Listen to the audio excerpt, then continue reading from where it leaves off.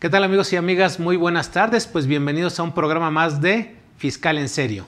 Bueno, pues en esta ocasión eh, su servidor Telésfor Ávila pues está muy complacido, muy contento de estar nuevamente por aquí con ustedes, ya que tenemos un tema pues que es eh, pues de mucha importancia, sobre todo por los cambios que hubo en el año 2021.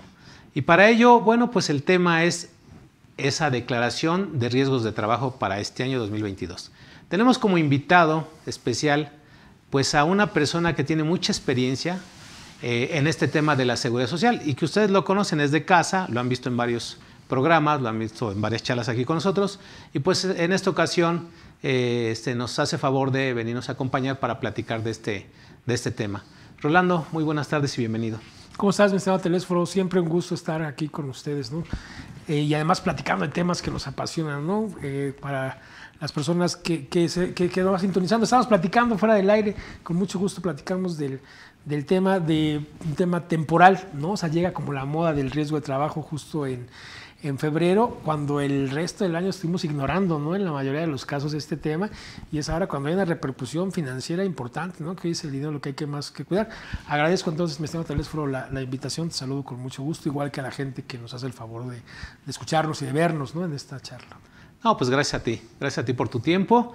Y bueno, pues esto sabemos que la obligación nace de la constitución política, ¿no? En materia de prevención de riesgos de trabajo. O sea, la obligación de quién es? De los patrones, ¿no? Así es. De los patrones de, de, implementar esos programas de capacitación y adiestramiento para prevenir riesgos de trabajo, ¿no? Sí. Entonces, esa, esa, esa obligación, pues ahora sí que emana de la Carta, de la Carta Magna, y luego de ahí viene la ley del trabajo, viene la ley del seguro social y también pues, nos regula toda esta parte de, los riesgos de trabajo, llámale accidentes, llámale enfermedades, eh, incluyendo los accidentes en trayecto. ¿no? Sí, sí, sí. Eh, eh, lo, dices de, de, forma perfecta. Pues, considero que el riesgo de trabajo es probablemente la situación que genera todo el derecho laboral todo el derecho laboral. O sea, en algún momento pues se hace un trato, ¿no? Yo voy a prestar un servicio personal y subordinado, te voy a obedecer y tú me vas a pagar un sueldo. Ok, y esas me parece que en algún momento fueron las obligaciones. Yo le tengo que pagar porque alguien está trabajando para mí. Y que la siguiente consecuencia, la siguiente necesidad de atender era, oye, pero si me pasa algo por algo que tú me hiciste hacer, que tú me pediste, eso no está en mi, en mi salario, eso no está en mi remuneración, ¿qué me va a pasar? Y aquí fue cuando en, algún intento de impartición de justicia decir, oye, es tu trabajador, tú eres quien se beneficia de su trabajo, por lo tanto eres responsable, tendrías que estarlo indemnizando, resarcir el daño que le pudieras que estar causando. Y este tema deriva en un aseguramiento, pero perfecto. Eh, de los trabajadores me parece que, que el principal derecho, el, el primigenio sería la cobertura que se tiene, que algo que no me sucedió por decisión propia, bueno, ningún accidente parece, pasa por decisión propia, pero que en circunstancias diferentes no me hubiera eh, sucedido una exposición que tengo a un riesgo eh, mayor y a veces hasta atípico, pues tendrá que ser responsabilidad del, patrón. Y ese es el primer, me parece que, que, podría ser de los primeros derechos laborales y se viene de la mano por la Ley Federal del Trabajo, ¿no? Ley Federal del Trabajo que el mucho versa sobre este tema, la ley del seguro, eh, del seguro social y, y, por supuesto también del ISTE, el reglamento, ¿no? El propio reglamento, ambos, ¿no? Bueno, hay, hay, más, pero el reglamento en materia de, clasifica, de clasificación, de la determinación de fiscalización eh, y el de prestaciones médicas. Entonces tenemos una línea de un trazo que viene desde la Constitución hasta el último de los reglamentos y lo conectaría con los acuerdos del Consejo Técnico. Y las normas oficiales mexicanas. Y las normas, por supuesto. Es un tema bastante, bastante amplio que yo creo que la verdad pues, estaremos hablando de más de 20 horas hablar de riesgos de trabajo. Fácilmente. Fácil porque eh, ya, ya conectándolo con toda esa normatividad que, pues, quién se imagina que un reglamento de prestaciones médicas tenga que ver con riesgos de trabajo, pero viene un capítulo especial de, de riesgos de trabajo. En el mismo reglamento de afiliación y clasificación de empresas también viene un capítulo de cuáles son los procedimientos para eh, recabar esa información, llenar esa declaración. En el artículo 32 de, del reglamento de afiliaciones donde se regula todo este tema, ¿no? De la declaración que hay que presentar a más tardar el, el, lunes 28 de febrero, ¿no? como lo, lo, anunciamos en el promo. Sí, como, como, como último día tendríamos esta fecha, lo que dure febrero, ¿no? O sea, podría ser un 29 o podría ser un 28 si cayéramos en, año bisiesto y atípico al final del día porque al final tenemos, es una obligación fiscal, ¿no? Y tenemos una tasa que obviamente autodeterminamos, ¿no? Yo determino cuál es la tasa que me va a aplicar. el Seguro Social me la va a reducir, pero es un ejercicio de autodeterminación y es la parte fiscal del seguro de riesgos de trabajo. Entonces tenemos todo el régimen financiero, el cómo, cómo se financia, ¿no? Totalmente eh, eh, patronal, cómo lo voy a calificar. Y aquí siempre me, gusta hacer la analogía de es como una aseguradora comercial. Va a ser más caro si es más probable que lo utilices. El negocio de un seguro es que no se utilice, que se tenga la cobertura, pero que no se, en la medida en la que sea más probable que lo utilices, va a ser más caro, va a ser más caro para ti. Y de ahí uno de los pocos pues contribuciones, una de las pocas contribuciones que está de nuestro lado, mi estimado teléfono, poder regularnos, a poder que sea más barata la carga fiscal al final del día a través de la, de la prevención. Entonces creo que, que, hay muchos temas sobre riesgo de trabajo porque está de ese lado la parte fiscal y del otro todos los derechos de los trabajadores. Y el gran problema que, que viendo el país como, en el que hoy estamos con la composición empresarial, que son pequeños patrones, el gran problema que sería el incumplimiento de afiliación de los trabajadores con un tema de riesgo de trabajo. O sea, lo mortal que puede ser un capital constitutivo Exacto. En, este caso y, la poca importancia que a veces le, damos a estos temas. Ese tema que estás tocando es importantísimo. O sea, la ley del Seguro Social establece que tú tienes cinco días hábiles para dar de alta a un trabajador. ¿no? Entonces, ahora bien, ¿qué pasa si no lo afiliamos y se accidenta de su casa a la empresa? Ok, eh, la, obligación del patrón es cubrir todos los riesgos de trabajo. Y aquí eh, lo, lo hice de una manera muy, muy simple, ¿no? Yo sé que, es un, experto, pero ¿cuál es el riesgo de trabajo? O sea, ¿en dónde termina y en dónde empieza? Y aquí tenemos que llegar a la reflexión de que cualquier cosa que yo no hubiera hecho, cualquier movimiento, cualquier traslado, cualquier acción que yo haga atendiendo a las instrucciones o como consecuencia de las instrucciones de mi patrón, es un riesgo de, trabajo. Y tenemos esta situación sui desde que se despierta el trabajador, se despierta el trabajador y aquí la cobertura que da el Seguro Social es desde que sale de su casa hasta que llega al, centro de trabajo, que también hay que definir el centro de trabajo, eh, pues, pues, de manera directa, ¿no? aunque haya ya alguna, algunas, eh, sin excepciones flexibles, pero incluso es desde que te levantas porque te levantas a una determinada hora, en una determinada circunstancia, para atender al trabajo. De otra forma no sería. Y son todas estas situaciones las que el seguro debe de cubrir. Lo que me pase por trabajar contigo. Y ahí tenemos de todos los tecnicismos de, bueno, pues se va a calificar cuando sea, eh, cuando esto suceda en el desempeño de tu trabajo, en el tiempo real o como consecuencia. Y cuando hablamos de como consecuencia, hablamos de miles de, posibilidades. Y adicionar a estos que identificamos perfecto, ¿no? los trayecto, los accidentes, las eh, enfermedades, que seguramente hablaremos de eso, los que están en comisión. Así es. O sea, cuando vivo en un lugar donde no viviría si no es porque tú me mandaste a trabajar.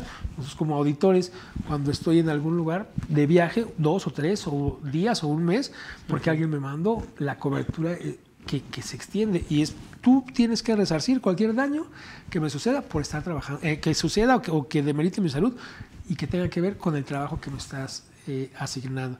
Entonces, la, la, el abanico de posibilidades es amplio.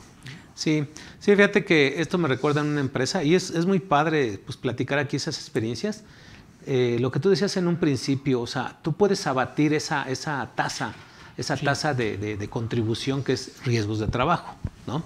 Eh, disminuyéndola porque pues tú cuando te das de alta por primera vez como empresa y tienes trabajadores, te asignan una prima media, ¿no? que está ahí en el artículo 73 de la ley del Seguro Social, para que sobre esa empieces a contribuir ¿no? en, ese, en ese seguro de riesgos de trabajo.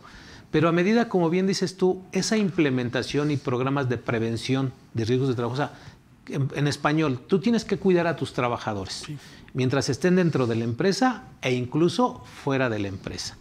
¿Con qué objetivo? De que no se te dispare esa tasa, ¿no? De que cada año que vaya pasando, en lugar de que te vayan aumentando la cuota del seguro social en el, en el seguro de riesgos de trabajo, vaya disminuyendo. Entonces, qué mejor que te están dando a ti esa oportunidad de que tú hagas esa labor para que cuides a los trabajadores, implementes esos programas y esos programas vamos, vamos desde, desde el mismo equipo de protección, ¿no? O sea, si tú a los trabajadores les requieres que usen casco, este, eh, gafas, eh, guantes, eh, botas o uniforme especial, pues tú vas a tener que cumplir con esa obligación para evitar un riesgo de trabajo, un accidente que traiga como consecuencia un incremento en las cuotas, ¿no? Independientemente de la gravedad que, pues más que nada la parte humana, ¿no? O sea, que, imagínate un trabajador salga lastimado o, dañado por, por una pues ahora falta, falta inexcusable del, patrón, ¿no? Con imputable al patrón. Sí, ¿no? como puede ser o negligencia, exactamente. La negligencia. yo creo que está primero esa etapa que, que a lo mejor sería, lo vamos a, resumir, porque esa es la parte más eh, importante también para prevenir todo esto, esto de los riesgos de trabajo, pero que en las empresas hay quien sí lo hace y hay quien no lo hace. Porque ahí adicionalmente pues están las normas oficiales mexicanas, lo que es la ventilación, la luz, me tocó ver el otro día un incendio impresionante porque se consumió toda una, una manzana. Sí, sí, sí, O sea, entonces, ¿dónde está la prevención? Sí, exacto. Y, y, y ahora, y ahora que, que, mencionas de, sobre la prevención, creo que tienes toda la razón y deberíamos de darle un enfoque menos fiscal. O sea, al final es un costo, ¿no? Es un costo y nuestra labor como administradores, como asesores, pues es llevar esos costos a lo mínimo dentro de los márgenes de, de legalidad. Pero estamos en 2022 Nadie debería de morir por consecuencia de su trabajo. Se debe ser un, caso fortuito, ¿no? alguna catástrofe, algún, algún pues tema ¿Cómo no? El estrés laboral. Exacto, pero nadie debería de morir. nadie debería de adquirir un grado de incapacidad por, por estrés laboral. Entonces no está, no está en condiciones humanas. O sea, si es muy claro que tengo un trabajador y que eventualmente es muy probable, o, ese es el, el, el patrón, que sufra un infarto por algún motivo, eso está mal. Eso debería de ser ilegal. Nadie tendría que morir por estar trabajando, o sea, un soldado, ¿no? Que es una, categoría distinta. Y estamos en pleno 2022 eh, y esto sucede todo el tiempo. Seguimos teniendo condiciones muy precarias, desde temas que podríamos ver lejanos a lo mejor en Ciudad de, México y muy cercanos en otras regiones, en la minería. Es normal, ¿no? Que, la gente muera en la construcción, en la fundición, en las siderúrgicas, donde pues es obvio que se manejan eh, pues, temas que, son más peligrosos, pero no tendría que ser, que, que, ser el factor común o el patrón de conducta que la gente fallezca y sigue habiendo altas incidencias ¿no? en este tema. Y creo que, que más allá de la obligación de tener que pagar una cuota más cara o más barata, tendríamos que estar enfocándonos en los temas de prevención. No es admisible, güey, que la gente muera trabajando. Así es, pero se da por el desconocimiento precisamente de las normas, ¿no? Porque si ya en la constitución política te es claro que el responsable de todos los riesgos de trabajo es el patrón, pues desde ese momento debes ponerte esa cachucha de decir, oye, soy responsable, solidario ante, ante las instituciones, pero como bien lo dices, la parte hay que verlo primero desde el punto de vista laboral, porque todas las consecuencias son laborales, ya después le, le, pones la parte fiscal, ¿no? Entonces, hablábamos de riesgos de trabajo y los riesgos de trabajo pues a veces son de carácter psicológicos, ¿no? De carácter ergonómicos. Así es. Entonces, todo eso, digamos, son como ocho la clasificación de los riesgos de trabajo, en donde tienen que estarlos conociendo a, través de qué? De las normas oficiales mexicanas, ¿no? Esas las pueden verificar ahí en el internet, ¿va? Norma oficial mexicanas STPC, eh, eh, Secretaría de Trabajo y Previsión Social, este, ah, no, es primero el número, ¿no? Norma oficial mexicana 001 STPSC. Este, que es Secretaría de Trabajo y Previsión Social. Norma oficial número 2 y así. Entonces vas a ver que hay 41 normas oficiales mexicanas. ¿no? Y dices, oye, ¿cuántas de esas normas oficiales mexicanas conocemos y cuáles son las que aplican para mi empresa? Sí. Y ya de ahí, una vez es, ah, con base en ello, entonces contrato a los expertos en medidas de prevención de riesgos de trabajo. Sí, y, la verdad es que la mayoría de los ejercicios que, que marcan las, las NOMS están teóricamente diseñados para que el patrón los pueda hacer sin necesidad de un consultor. Igual que, que, pensamos que no se necesita un contador ¿no? para llevar un RIF o ahora un régimen simplificado de confianza. Es, complicado. Es supone que, que, tiene incluso un trato diferenciado, que dependiendo del número de trabajadores que tengas, pues vas a tener eh, responsabilidades mayores y mayores procedimientos. Tenemos ahí esa NOM 035 que tenemos que verla como un riesgo de trabajo. Sea, está vinculado totalmente como riesgo de trabajo. ¿Qué sucede? Bueno, pues que ya el propio Seguro Social se ha visto en la necesidad de generar pensiones por enfermedades mentales, ¿no? por enfermedades mentales que, pueden ser, y, entendiendo que podría ser eh, diferente la terminología, ¿no? y a lo mejor no es una enfermedad mental, sino que es una, una deficiencia de algún químico, no, no sé. Temas como depresión, como bipolaridad, como ataques de eh, ansiedad y algunos otros que pueden ser más eh, complejos, se van a tener que calificar como riesgo de trabajo por lo que platicábamos. Esto no me hubiera sucedido si no fuera por el trabajo. Y en consecuencia, si esto me impide eh, la subsistencia a través de la actividad que yo hago para la que estoy preparado, me tienes que indemnizar.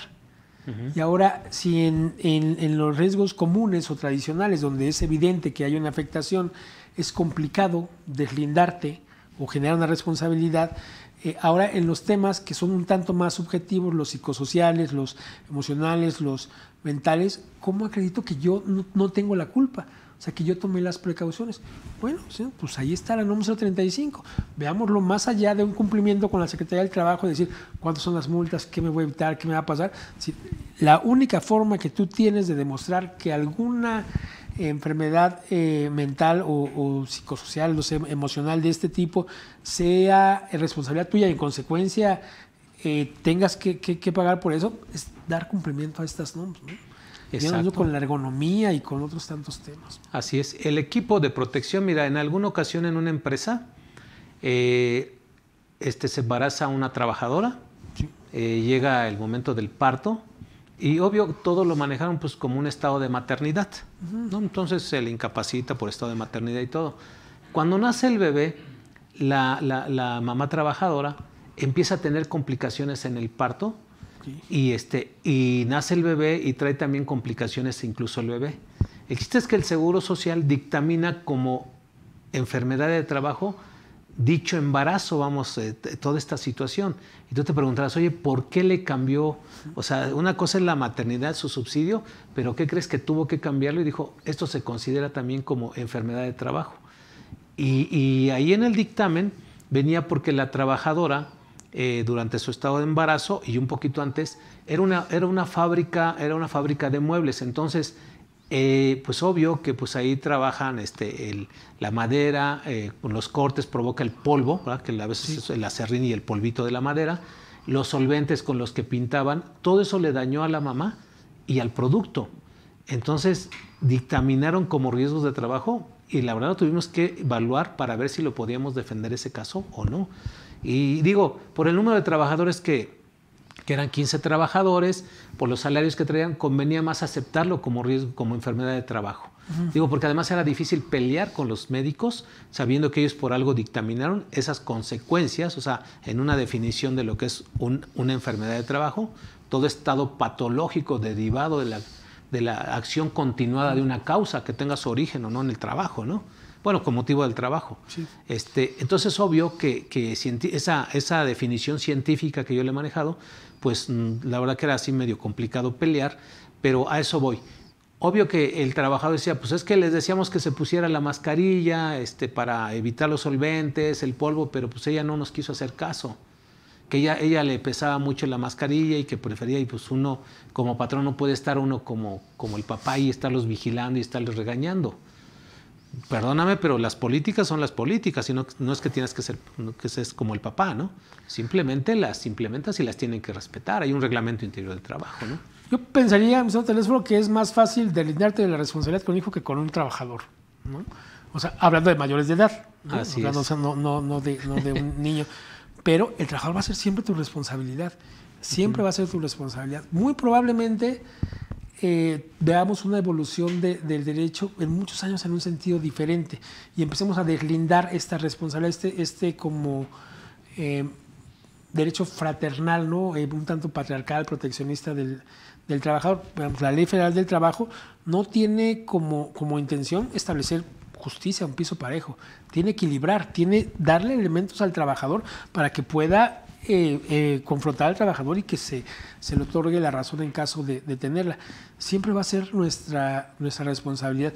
Y en este caso, en el que, en el que señalas, oye, yo no soy su papá, peor que su papá. O sea, eres responsable de lo que de lo malo y de lo bueno. Te vas a beneficiar con, con, con, la utilidad que te genere, pero de cualquier cosa, de su salud y de lo que él cometa. O sea, de las acciones que él, que él comete, o sea, la negligencia, y al final tú eres el que absorbes el, el tema. Y es por eso, y, tiene, tienen toda la razón quien, quien argumenta eso, oye, yo le puedo decir mil veces al trabajador, ponte el cubrebocas, ¿no? Ponte el, el, cubrebocas. Y mil veces el trabajador puede no ponérselo. Y pues, oye, es, es, obligación del trabajador. Incluso la Ley Federal del Trabajo me señala como causas para la conclusión, para la rescisión de un contrato, para la terminación sin mi responsabilidad, la desobediencia. Así es. Sí, pero no es el camino. No, no, no es el, el camino que yo puedo decir. Me desobedeció. ¿Por qué nos enfrentamos a un quien tiene la carga de la prueba? Y la carga de la prueba en el derecho laboral, que es eh, complejo y sui generis, va a ser siempre no del que afirma, sino del patrón. Del patrón, exactamente. ¿Qué tendría que hacer? Tengo que sancionar, tengo que generar mis propias reglas a través de un reglamento interior de trabajo. Exacto. no tienes cubreboca, te suspendo dos días. Así es. Y tiene los medios de prueba electrónicos, las cámaras, las cámaras que hoy en día puedes poner para efectivamente decir, oye, mira, está un reglamento y está pegado, ¿no? Y te dice claramente lo que tú tienes que este, eh, cuidar como equipo de trabajo dentro de la empresa. ¿No? No estás cumpliendo, mira, ahí tengo la prueba. Entonces te voy a sancionar en términos de reglamento con un descanso. Sí, con, No te dejo que devengues el salario, ¿no? hasta 15 días te puedo eh, sancionar, no quitarte el dinero. Así es. No dejar que, trabajes. Y en consecuencia, pues tienes una, una gracia. Por eso se tiene que hacer y no estamos acostumbrados. Cuando escuchamos un acta administrativa, reglamento, pues, eso no pasa en ningún lugar. A veces ni procedemos. pero es, vamos, eso, eso por no hacer las cosas bien antes, o sea, como prevención. Por eso decía, son dos etapas las que vamos a platicar, esta de la prevención y después ya las consecuencias de esos accidentes que producen, que son, que no son, ¿no? Y, pues como consecuencia hay que presentar una declaración, ¿no? Así es. Entonces, mira, este, te invito ahí, nos hacen algunas preguntas. Eh, no sé si quieres que Sí, con mucho gusto. Sí, Carlos Jiménez, licenciado muchas gracias, mi estimado. Eh, gracias. Carlos, muchas gracias por lo que, que nos pones dice, ¿cómo se calculará la prima de riesgo de trabajo con la sustitución patronal? Lo que te dije, lo que te dije. Estudia mucho porque nos van a preguntar. Sí, la sustitución patronal. Dice, en el caso de que una empresa sustituta, ¿habrá cálculo de la prima de riesgo de trabajo o me tengo que esperar el año que entra? Esto aplicaría también si no hubo una sustitución patronal como tal, es decir, solo se migraron a los empleados. Eh, esa es la, la, primera, la primera pregunta, nos llama Carlos Jiménez. Y, es lo, lo, que, lo que platicábamos, ¿qué va a pasar con las sustituciones patronales? ¿Qué va a suceder? Y aquí me parece que, que, hay dos situaciones. Uno, una verdadera sustitución patronal, que entendamos que la sustitución patronal no es un derecho del patrón, como, como se vivió en esta modificación. Pues, oye, sí califico, ¿no? Si es sustitución patronal. Eh, no, momento. La sustitución patronal es un vehículo para salvaguardar los derechos de los trabajadores cuando esta empresa cambia de dueño. Así es. Y lo que tendría que, suceder en una sustitución patronal no es que los trabajadores pasan de una empresa a otra. Claro. No, es que la empresa es la misma y cambia el nombre. Esa es una sustitución aparente. Sí, sí, sí. Ese es, un traslado de los trabajadores. Así es. incluso que lo señala el Sí, no es patronal, o sea, no es una sustitución patronal. Sí, no, no, no es patronal. incluso yo dije, ¿a cuáles me paso? Y eso no podría, iría en contra de, de todo el espíritu del derecho laboral. En una sustitución patronal es muy claro y lo, y lo, comentamos. En una sustitución patronal yo adquiero la empresa completa en términos laborales con sus trabajadores, los que me gustan, los que no me gustan, los eficientes, los que no, y lo adquiero con todo y sus accidentes de trabajo. Así es. Es muy claro, yo tendría que considerar y con los, derechos, respetándole los derechos laborales, de, antigüedad, de antigüedad, del pasivo, prestaciones, las prestaciones completos. El para el trabajador esto eh, más que transparente es opaco, él no se tendrá que enterar. El único cambio es que va a haber va a tener un CFDI con un nombre diferente. O sea, cambia el patrón. O sea, el, cambio, el patrón es el que cambia. Sí, pero los bienes siguen siendo los mismos, los trabajadores siguen siendo los mismos. El registro patronal debería ser el mismo. Incluso, Ni siquiera tendrá que cambiar. Ahora, derivado de esta modificación, ¿no? En materia de subcontratación, lo que tenemos son figuras sui generis. Y lo que hicimos tiene miles de nombres. Los pasamos a unos sí, a unos no. Pero en el primer caso que estás comentando de una sustitución patronal laboralmente bien hecha, sí. ¿sí? Utilizada bien, como dices tú, como un vehículo, en esa sí definitivamente se tienen que considerar los riesgos de trabajo terminados para, esa, para esta declaración que vamos a presentar correspondiente al año 2021. para todas las demás tienen que valorarlo. Entonces tienen que, tienen que verificar si realmente sí fue una sustitución patronal, porque en algunos de ellos ni siquiera presentaron el aviso, nada más eh, presentaron la alta de los trabajadores en la nueva empresa, etc. Hay que, hay que revisar esa parte. Incluso ahí hay que, hay que recordar, porque la, característica que tuvo esta reforma, que seguramente vamos a seguir hablando, fue la prisa y la falta de conocimiento. Así es. Y, esta, esta combinación. Y no solo, no solo de, los patrones, de los contribuyentes, también de las autoridades. O sea, se estaban enfrentando a algo que no se habían enfrentado. O sea, tuvieron que decidir en frío, ¿no? De cómo le hacemos. Incluso recordemos que ahí está esta sustitución patronal por oficio, que es una figura que inventó el Seguro Social. Pero que no dejemos de lado que estamos en una situación de excepción aún con dos temas. Uno, los transitorios, ¿no? De, del acoplamiento de una ley. Y el otro, una situación de pandemia que aún genera eh, espacios de, excepción. Incluso señalaba el, Seguro Social, oye, es más, ni me digas, si yo veo que hubo un trabajador que además era trabajador de tu cliente, oh, ¿cómo sabes eso? Bueno, pues, son amigos del SAT, o sea, tienen convenios de colaboración. Si alguno de los trabajadores en los cuales tú resultabas como beneficiario del servicio, hoy lo contratas, ni me avisas, no te preocupes, es una sustitución patronal. ¿Por qué? Porque voy a establecer una responsabilidad solidaria. Y en ese momento, pues bueno, ¿no? Está, está bien, pero nada más de ese trabajador y de los que, que no. Y estas sustituciones patronales que, que, son una figura distinta en donde estaba el outsourcing tal cual y no tenía solamente a mis trabajadores, no tenía a los que me prestaban un servicio, tenía a los de 10. Y entonces pues yo me traje los que quise, porque bajo ninguna circunstancia estaba obligado a contratar a nadie que no quisiera contratar.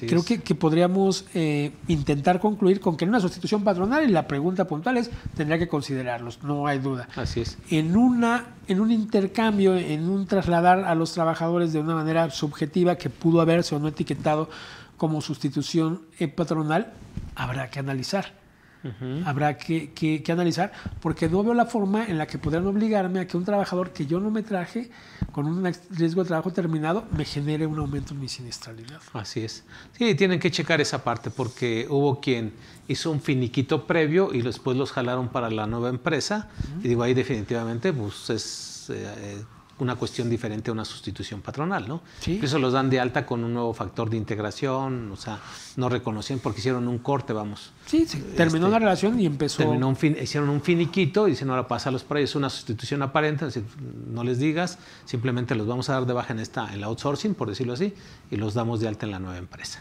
O en la empresa contratante, que era donde ya estaban. Y yo eh, quisiera añadir que cuando decimos habrá que analizar el caso en particular, no es me niego a responder, ¿no? Porque siempre platicamos cuando un consultor no te quiere contestar, o más bien te quiere pasar su recibo, dice, pues habrá que analizar el caso en particular. Este caso en particular no te estoy También tenemos que revisarlo, ¿no? habrá que revisarlo, pero creo que, que, se va a resumir entre identificarse en una sustitución patronal, voy a tener que traérmelos. Ahora, lo que la autoridad espera es que le demos ese tratamiento. Claro. Entonces, que absorbamos los, los riesgos de trabajo terminados. De la sustituida. De la sustituida, de nuestro outsourcing, de nuestro proveedor. Así es. pero, pues no nada más trabajaba para mí, o sea, se los prestaba a, algunos más. creo que aquí habrá dos caminos. Uno, adoptar la conducta que la autoridad espera, que es considerarlos y ver qué efecto me causa. Y la otra es, no estoy obligado. Y además porque en una, en una cuestión lógica, esos trabajadores, ¿dónde se accidentaron? En la empresa donde la outsourcing los tenía contratados. Que era la tuya. Que era la tuya, exactamente. Entonces, pues por eso la lógica del Seguro Social dice, pues esos riesgos de trabajo terminados, tómalos en cuenta para tu declaración, porque te están regresando los mismos trabajadores que tenían contratados para ti. Y, si hubo accidentes, fueron ahí en tu empresa, o sea, eran, eran tus trabajadores, más que disfrazados. Es transparente si son los mismos. Claro. Pero ¿cómo, o sea, ¿cómo voy a saber que el que no quise contratar, que también trabajaba para mí? O oh, sí, exactamente. y ese tuvo un accidente y dice, ese ya no lo quiero. Así es. Y no lo contrato. Me tengo que traer ese riesgo y si me traigo ese riesgo no estoy vinculando y no estoy eh, consintiendo de alguna forma una relación laboral. Así es. Sí, bueno, pero entonces eh, definitivamente las cosas bien hechas no tienen duda, ¿no? Este, como en este caso una sustitución patronal en términos de la ley de trabajo con los avisos que se debió haber presentado, ¿no?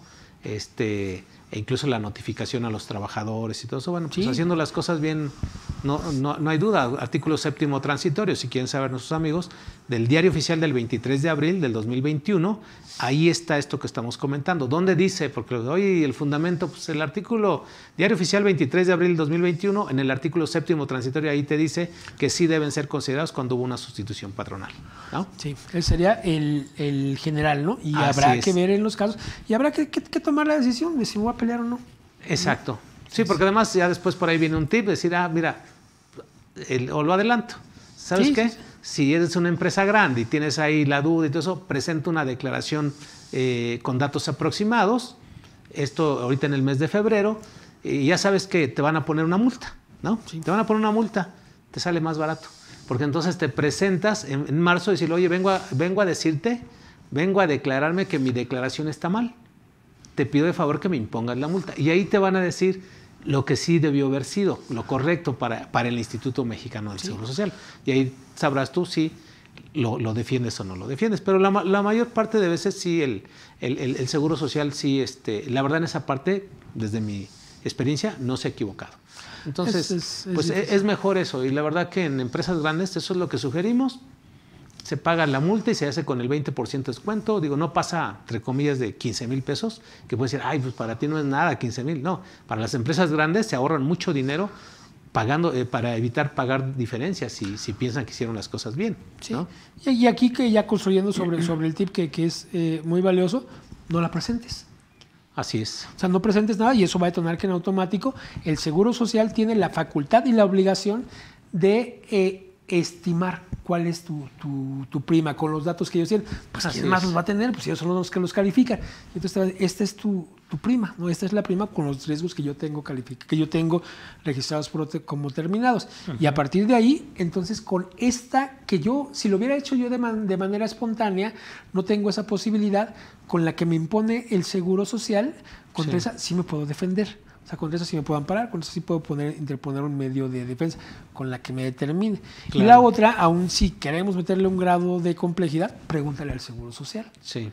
Y sabemos, ¿no? Que nos va a decir, oye, pues dime de qué trabajador estás hablando, porque no tenía cuántos días, en qué clínica estaba, a qué unidad eh, médica familiar eh, estaba inscrito. No, ¿y dónde sucedieron, dónde sucedieron Sí, los ¿dónde, accidentes? dónde sucedieron y cuándo, ¿no? Creo que nos pregunta es. cuándo. Yo te digo cuántos días tenía. Y no, te pregunto a ti, Seguro Social, Instituto Mexicano del Seguro Social, ¿cuántos accidentes de trabajo terminados están a cargo de mí como, como, como patrón? No me va a contestar. O sea, no me va a Claro. contestar y va a decir, se configura negativa ficta porque tu promoción no es válida, pregúntale a cada clínica. Cuando eso llega a un juicio, y en muchas ocasiones ha sucedido, yo te puedo decir con seguridad que, que casi en la, en, la, en la mayoría, el juez va a decir, ¿quién tiene la obligación de llevarlo? Tú tienes, tú patrón tienes la obligación de llevar un registro pormenorizado de la siniestralidad. Ok, no lo cumplí. Ok, ¿Qué pasa si no lo cumplo? Que le tengo que preguntar al Seguro Social. Le pregunté y no me contestó. No, además, imagínate, eh, ¿qué dice, qué dice la, la ley del Seguro Social? Que es obligación del instituto notificarle al patrón. Sí. Le notificó a la sustituida, Sí, pero no la sustituta.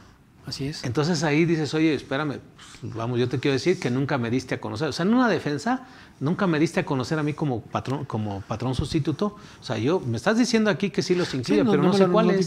sí. No sé cuál es la empresa sus- sustituida, ya no existe, dio el cortinazo y se fue. Sí, y hay una A mí nunca, no- a mi instituto nunca me notificaste. O sea, oye, ya hay una sustitución, te notifico que hay tantos riesgos de trabajo, este, porque si iba, si el Seguro Social estaba en una sustitución correcta, legal, el, el Seguro Social te notifica de los créditos que estén pendientes Debería. por parte de la sustituida. Digo, tú lo solicitas en el proceso de la sustitución patronal, tú lo solicitas, pero nunca le vas a decir, oye, y también sus, este, eh, notifícame, aparte de los créditos que tenga pendiente la empresa que me está vendiendo, por decirlo así, el- Sí. el- todo el activo y todo su personal, este, notifícame también los riesgos de trabajo terminados a efectos de que yo los tome, eso no lo van a hacer. Entonces, como no hay una notificación, por ahí también puede venir la defensa. Sí, es una de, de- de- en forma, ¿no? No, no, Sí. me, no me avisaron y otra también de forma es, pues te pregunté, no me Porque bien lo dijiste. esto nada más lo hicieron de oficio, lo publican en el diario oficial, no sabiendo, pues oye, hay una normatividad donde viene el procedimiento, ¿no? Sí. Ahora, eh, ya después ha- hablaremos de cuáles son esas obligaciones, como bien dices, de que eh, cuando el patrón se entera, también tiene la obligación de notificarle al instituto, ¿no? Así pero, es. Pero este, vamos por partes. Mira, ahorita Chicotencatl Hernández nos pregunta, dice, dice, todavía no se puede acceder a mandar la prima de riesgo, mando un error en la página, ¿saben por qué? Eh, efectivamente, no sé si tú ya lo intentaste, yo lo, intenté, el, yo lo intenté el sábado. Eh, este, y, comentarle, sí, marco un error y quiero comentarle a nuestros amigos eh, en qué sentido. Recordemos que la declaración tú la puedes llenar, o sea, comprando el formato en papelería, ¿no? O lo descargas del internet, lo llenas con tu computadora, con máquina de escribir y de manera presencial tú determinas ahí en ese, en ese este, documento, ¿va? en papel, determinas la nueva prima, ¿no? Entonces la determinas con tu, con tu este, ¿cómo le llamamos a esta? La, tu formato, con tu siniestralidad. Sí, no, no, no. La, la credencial patronal, la tarjeta patronal. O sea, el formato, tu tarjeta patronal y, una identificación o, la carta poder del representante legal. Vas y la presentas de manera presencial. Digo, este, ese sería un primer escenario, que comprando, comprando el formato, bajándolo de internet. internet. Pero hay, hay, una opción que es, que es a través del, mismo ITSE, ¿no? Para presentarla. Entonces, para ello, previamente necesitas, ahora sí que el formato electrónico, ¿no? Entonces, a través del programa SUA, tú puedes generar ese archivo que se llama .dap, ¿sí? Punto, declaración anual de prima. O sea, ese es un archivo que se llama .dap. Entonces, con el programa SUA generas ese archivo de la declaración, o sea, ahí en el programa SUA generas toda la declaración, los reportes de incidencias y todo eso, y con ese archivito te metes al ITSE, con tu firma electrónica, la presentas. En ese momento, sea, yo traté de presentarlo el sábado y me marcó error. Lo intenté cinco veces y me marcó error. Dije, bueno, no hay problemas, voy a esperar. Tengo que esperar esta semanita, estoy a tiempo para presentarla. Pero sí de entrada hay un error. Así, un error de código, total, tres, cuatro líneas y lo está presentando, ¿no? Entonces dije, plan número B, o sea, plan número dos, ¿sí? Hay, hay, hay una plataforma en el Seguro Social que te ayuda a generar ese formato de la declaración con una extensión .srt, ¿sí? Seguro de riesgos de trabajo. Fíjate, es diferente. .dac a .srt. Genero mi archivo, ¿sí? Este, considerando los mismos datos que generé a través del SUA, número de trabajadores expuestos al riesgo, número de funciones, porcentaje de invalidez, capturo todos los datos y genero el archivito y me meto otra vez a la página del ITSE para presentarlo. Tampoco se pudo. O sea, me marcó el mismo error y, bueno, esta pregunta que nos están haciendo, no sé, no sé, bueno, al sábado no se podía. Este, digo, hay que intentarlo, yo mañana voy a intentar mandar, hoy ya no me dio tiempo, mandar ese, ya sea uno, el punto SRT o el punto DAP, ¿sí? cualquiera de los dos, porque son los programas informáticos autorizados para generar esos archivos y subirlos al ITSE, ¿no? Esa es, esa es la, la, ahora sí que la manera de hacer la presentación de esta declaración que, que hay que hacerla a más tardar el lunes 28 de febrero. Sí, y, aquí eh, la verdad es que yo eh, desconocía de esta algo vi, algo vi en algún Twitter, es que, no tardan en poner en las, en las redes que, había un fallo, pensé que había sido algo de, momento, y en ese momento me, eh, yo lo vinculé, ya ves que está por, por salir del mercado, ¿no? Y por quedar inhabilitado el Explorer. Así es. Y es como, como funciona la mayoría de los programas. Pensé, a lo mejor tiene que ver con alguna actualización. Que no, en, el navegador, en el navegador, mira, ya no quise hablar al instituto para ver, porque en el navegador estaba funcionando bien todo lo demás. La descarga de las emisiones EMA y EVA, todo, altas, bajas de trabajadores, o sea, con, mi, con el Explorer, este, que es la versión 11 la que yo tengo, ¿no? O sea, no el Edge, sino el, Internet Explorer, sí. Entonces, pero a veces este, digo, en el soporte técnico, si ellos te ayudan, dije, sábado no me van a dar la atención hoy, es inhábil, este, estamos a 5 de febrero, entonces por eso es que decidí mejor entre semana, dije, día hábil en un horario este, común, eh, voy a intentarlo a presentar, ¿no? Pero sí aprovecho para decirles cómo se puede generar esta declaración en papel o con archivos electrónicos, ¿no? Este, y la plataforma está disponible ahí en la página del IMSS, o sea, eh, esa ya tiene como cuatro años que estaba que la implementaron, funciona muy bien. Y simplemente esa nada más te sirve para, como máquina de escribir, digo con todo respeto para el IMSS, como una maquinita de escribir en donde te encripta, captura la información, te la encripta y, a final de cuentas tienes que utilizar el escritorio virtual, o este, perdón, el, el ITSE para enviar la, IMSS desde su empresa para poder enviar la declaración de manera electrónica. ¿no? sí, puedes imprimirlo y presentarla, ¿no? Sí, además, además puedes imprimirla y la otra es con tu tarjeta patronal, este, eh, lo que es la, una identificación y, la carta poder. Es que a veces te piden la carta poder. Sí. Digo, hay veces en que la verdad no deberían pedir nada más que la tarjeta patronal y, el formato, ¿no? Llegas y lo presentas, digo, pues es el cumplimiento de una, de una obligación pero casi casi a veces quieren que vaya el representante a presentarla. Entonces, pues llévate tu carta tu carta poder, notariada si se puede, ¿no? No vas a tener ningún pero.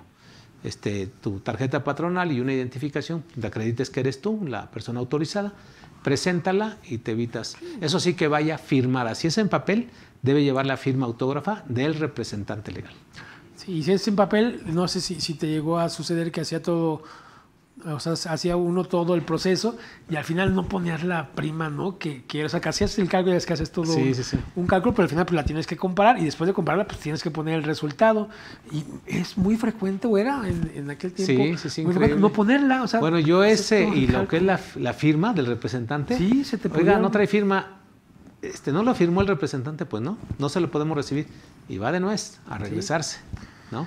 Entonces tienen que cuidar todos esos detallitos. Digo, yo la verdad ya tiene años que no la, no la presento este, eh, de manera presencial, todo lo hago de manera electrónica y además tengo un acuse que me da el mismo ITSE de la presentación de... Es hasta, me parece que igual de válido, pero yo me da más confianza el electrónico, que es una cadena digital, y no un sello que pues, sabemos que, que, que, se, que se modifica. Pero en este caso creo que, que valdría la pena que si estamos haciendo esos intentos, si es la página, y ahora eh, que, coincide, es. atribuible al instituto, ir documentando. Incluso yo me aventé la puntada, porque lo hago cada año, de presentar, eh, yo tengo la prima mínima en una de las empresas, y cada año presento la declaración de manera electrónica, y me la acepta. Y la prima es igual, no estoy obligado, estoy, estoy eximido de, presentarla. sí. Porque cuando la prima te da igual a la del año anterior, en este caso ya tengo la prima mínima desde hace cinco años, punto 50, punto 50, punto 50.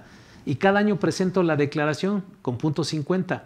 Si tú vas y la quieres presentar de manera presencial, te dice, no, prima igual, no está obligado.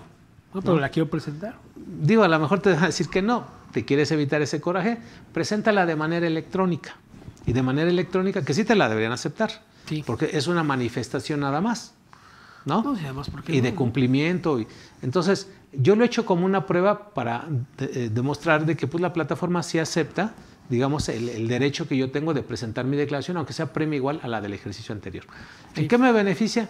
Digo, que la autoridad no vaya de momento a decir, como no la presentaste, te voy a asignar la prima media, porque en alguna ocasión ya pasó. Sí, o que te impongan la multa, ¿no? Eh, también la otra es que te impongan la multa. Cuando pues, tienes que hacer un escrito de aclaración y lo solventas sin ningún problema. Sí, Pero mientras es el acto de molestia de tener que hacer un trámite adicional porque no quisieron este, recibirte la declaración. Que además en condiciones normales no es que en febrero me tengan que poner a buscar la información desde el primero de enero del año pasado. O sea, un SUA alimentado de manera frecuente, en un diario como, como debería de ser, es tan sencillo como pedir el reporte de la prima de riesgo de trabajo, de, la relación de la siniestralidad, si lo estoy alimentando constantemente. obviamente espero, ¿no? A los últimos días de febrero para empezar a buscar, ¿no? Mi archivo donde tengo la siniestralidad, sí va a ser un problema y es muy probable que me, que, me equivoque. Entonces esto también tiene que ver con un, mantenimiento y una atención. Además, tú eres un cliente para el Seguro Social, o sea, las empresas grandes que se vean así son un cliente para el Seguro Social, ¿no? Entonces, así como cliente, pues tú tienes, ya ves que en eso de las compulsas. Oye, Seguro Social, fíjate que ya estoy por cerrar mi año, necesito que me des un listado de los trabajadores que sufrieron, con estos registros patronales, de los trabajadores que sufrieron un accidente, una enfermedad de trabajo o un accidente en trayecto.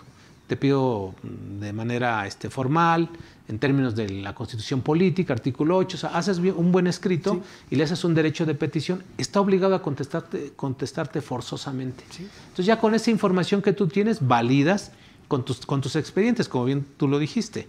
La ley sí te dice claramente, estás obligado a llevar registros detallados y pormenorizados que, con toda la información que te debe proporcionar el trabajador o sus familiares, ¿no? O el mismo instituto. O sea, lo allegas, armas tus expedientes y los empiezas a validar. Y, no hay que hacerlo hasta febrero. O sea, ahorita yo les decía en enero, vayan checando su expediente de riesgos de trabajo, ¿no? En noviembre, todavía estamos ya por cerrar el año, vayan checando sus expedientes si los tienen íntegros, para efectos de que cuando llegue febrero capturan la información sin ningún problema. ¿Y por qué esperar hasta el 28? El día 10, el día 15 la pueden presentar, ¿no? Y, y más que, que, que, presentarla, que por supuesto que es el, punto, creo que una empresa, un patrón, ¿no? sus encargados que lleva un buen control, podría ser capaz de, a medio año en julio, decir, si sigo como voy, esta es la prima que voy a tener, de poder estimarla. Entonces, si yo en algún momento, pensemos mitad de año, dos tercios del, no soy capaz de tener una expectativa de la prima que voy a alcanzar, pensemos en miles de trabajadores, mi control está mal. tendría que ser capaz de poderlo eh, revisar, de poder generar un reporte, poder generar eh, una estimación para una, una, provisión, ¿no? si es que hubiera algún cambio. Así si no puedo responder eso, tengo un, problema. Así es. Bien, eh, pregunta Eloísa Briones Pérez. Eh, un trabajador que está por destajo, ¿tiene derecho a recibir un finiquito? Si es así, ¿cómo hago el cálculo? Excelentes expositores. Muchas gracias. Bueno, en el momento que estamos hablando de trabajador, eh, tiene un derecho, ¿no? Y, aquí habría, eh, a pesar de que, no, no, es el tema. Independientemente de la fijación de su salario, ¿no? Independiente de la fijación. cuando hablamos de finiquito, hablamos de saldar la deuda que tenemos con el trabajador. O sea, de un derecho ya devengado de un salario, una prima vacacional, de un aguinaldo, el trabajador es por destajo o por tiempo determinado, por obra determinada, por el a comisión, ¿no? a, comisión incluso. El salario que ya está devengado, ese tiene que ser. Entonces, una liquidación es cancelar la deuda que tengo con él, es pagarle la, eh, los derechos ¿no? que ya tiene devengados, que ya trabajo. Ese va a ser para quien sea. Ahora, un trabajador por destajo, y supongo que, va más por allá la, duda, si tendría que indemnizarlo en caso de un despido injustificado. Y aquí tendríamos que saber cómo está regulado, cómo está estructurado el contrato que tenemos con él. Si a pesar de que es por destajo, es un tiempo definido, una temporalidad, un tiempo indefinido, y en el sentido de esto, pensemos en el perjuicio que le causamos, es lo que nos va a dar la clave sobre si tendremos o no que estarlo eh, indemnizando. Así es, en términos del artículo 50, Así es. ¿no? de la ley del trabajo. Pues finiquito todos, ¿no? Todos, aquí, aquí, algo bien importante, que, que, bien lo dices, acertado, aquí va depende de, de la duración del contrato, ¿no? Si es menor a un año, si es mayor a un año, ¿no? Este, y la forma de salario, pero eh, adicionalmente eso es para una, posible indemnización. ¿no? Aquí por lo que entendí es un finiquito, a lo que tradicionalmente le llamamos parte proporcional del aguinaldo, vacaciones y prima vacacional. ¿no? Los días de vacaciones si no se gozaron en ese momento, es la única forma en la que se pagan. Así es. Entonces ahí no habría problema eh, con lo que es el tema del salario diario integrado, en términos del artículo 84. ¿sí? Pero si fuera para una indemnización, algo importante, es que el salario diario integrado se determina en términos del artículo 89 de la Ley del Trabajo.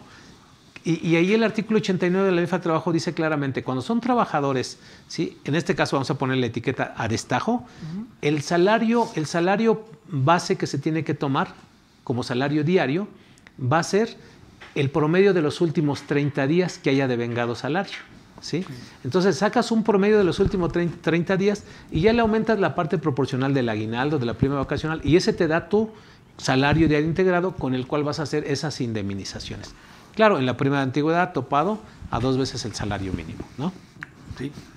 Entonces, este. Pues Finiquito todos, ¿no? O sea. Finiquitos todos con el salario diario ordinario, ¿no? Sí, lo que le debas, ¿no? Su, parte de aguinaldo, su vacacional, el salario, ¿no? Incluso porque pues, lo puedes despedir a media quincena o semana. Así es, y, su salario. En un finiquito, pues creo que no hay ningún problema. Ya en una indemnización, como bien dices, entonces ya cambian la, situación.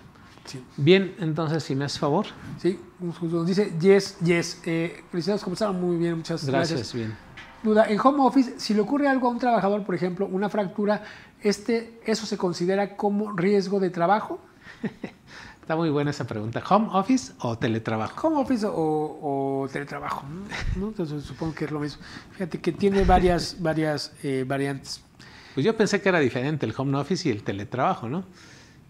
Sí, pues, pues el home office no existiría, ¿no? En términos de, del español. Y el y sí es diferente, ¿eh? fíjate que tienes razón, porque teletrabajo estamos hablando de una relación que ya siempre es teletrabajo, o sea, que se documenta como tal y que... y que debe estar en el contrato. Y debe, estar pactado en, las condiciones. contrato, las condiciones.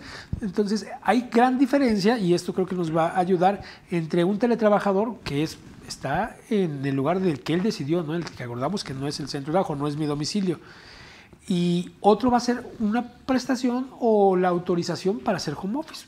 Pues dos días a la semana, un día a la semana, cada que quiera, ¿no? Así es. Las que tengo, oye, déjame trabajar desde casa, entonces te autorizo que Así trabajes es. desde, eh, desde casa. Y aquí, sobre la pregunta, que creo que es algo que, que nos dio muchas vueltas, sobre todo cuando se modificó y se incluyó el teletrabajo como un nuevo eh, formato de, de relación laboral, tenemos que, que regresar al, al punto básico. Si el accidente, ¿no? Pensamos en este caso en una fractura, yo asumo que es un accidente fue de manera súbita, ¿no? Más fue de pronto. No fue una exposición eh, prolongada, una continuación de, de una actividad que lo, que lo provocó, que podría ser, ¿no? Un desgaste, no sé, pues ser un beisbolista, un, trabajo. En este caso, que supongo que es un accidente, bueno, si este fue realizando el trabajo o como consecuencia de este, es un accidente de trabajo. Vamos a pensar en una, una comisionista, ¿no? Que está en su casa haciendo el home office, está vendiendo desde su casa, eh, se para a tomar un vaso de agua, regresa, pues están funciones de trabajo, o sea, es algo normal eh, en sus hábitos tomarse o ir al, al sanitario.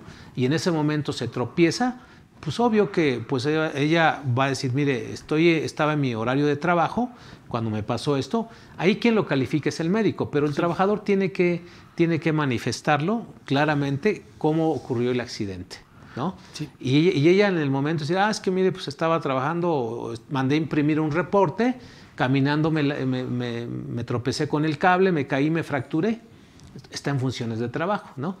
Pero lo que no va a ser accidente de trabajo, ah, es que, que estaba trabajando y de momento el jefe me dijo que este, bueno, me dio alguna instrucción que fuera al banco, ¿no? Bueno, a lo mejor también ahí, pero o que, que más bien que vaya, que salga a la tienda o que su papá, mamá, este, quiero, quiero unas papitas.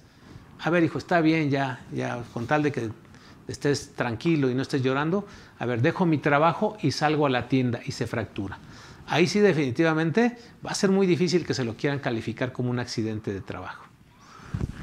Yo creo que, que- que sí se lo, van a, se lo van a calificar, ¿no? Y que Bueno. ante la falta de elementos, ahí siempre el Seguro Social, ¿no? y hasta por supletoriedad, va a optar por lo que más le convenga al trabajador. ¿no? Y lo que más le conviene, pues obviamente, es que el seguro de riesgo del trabajo lo ampare Así es. por, por eh, la diferencia en los montos, ¿no? de un 100% a un 60%, y, y las pensiones, ¿no? que se calculan de una manera radicalmente diferentes. Pero aquí estos huecos, ¿no? y pensemos que a lo mejor, eh, pues es un trabajo administrativo, a lo mejor como comisionista, ¿qué de las funciones teléfono que se le asignaron a esta persona la expone al riesgo de una fractura? Ninguna. Ok. O sea, ¿qué, qué, qué te expone? No, ¿cómo te fracturaste? O sea, es imposible que haciendo llamadas y capturando datos, que es lo que yo, yo pensaría hacer un, un- un comisionista, sufras una fractura.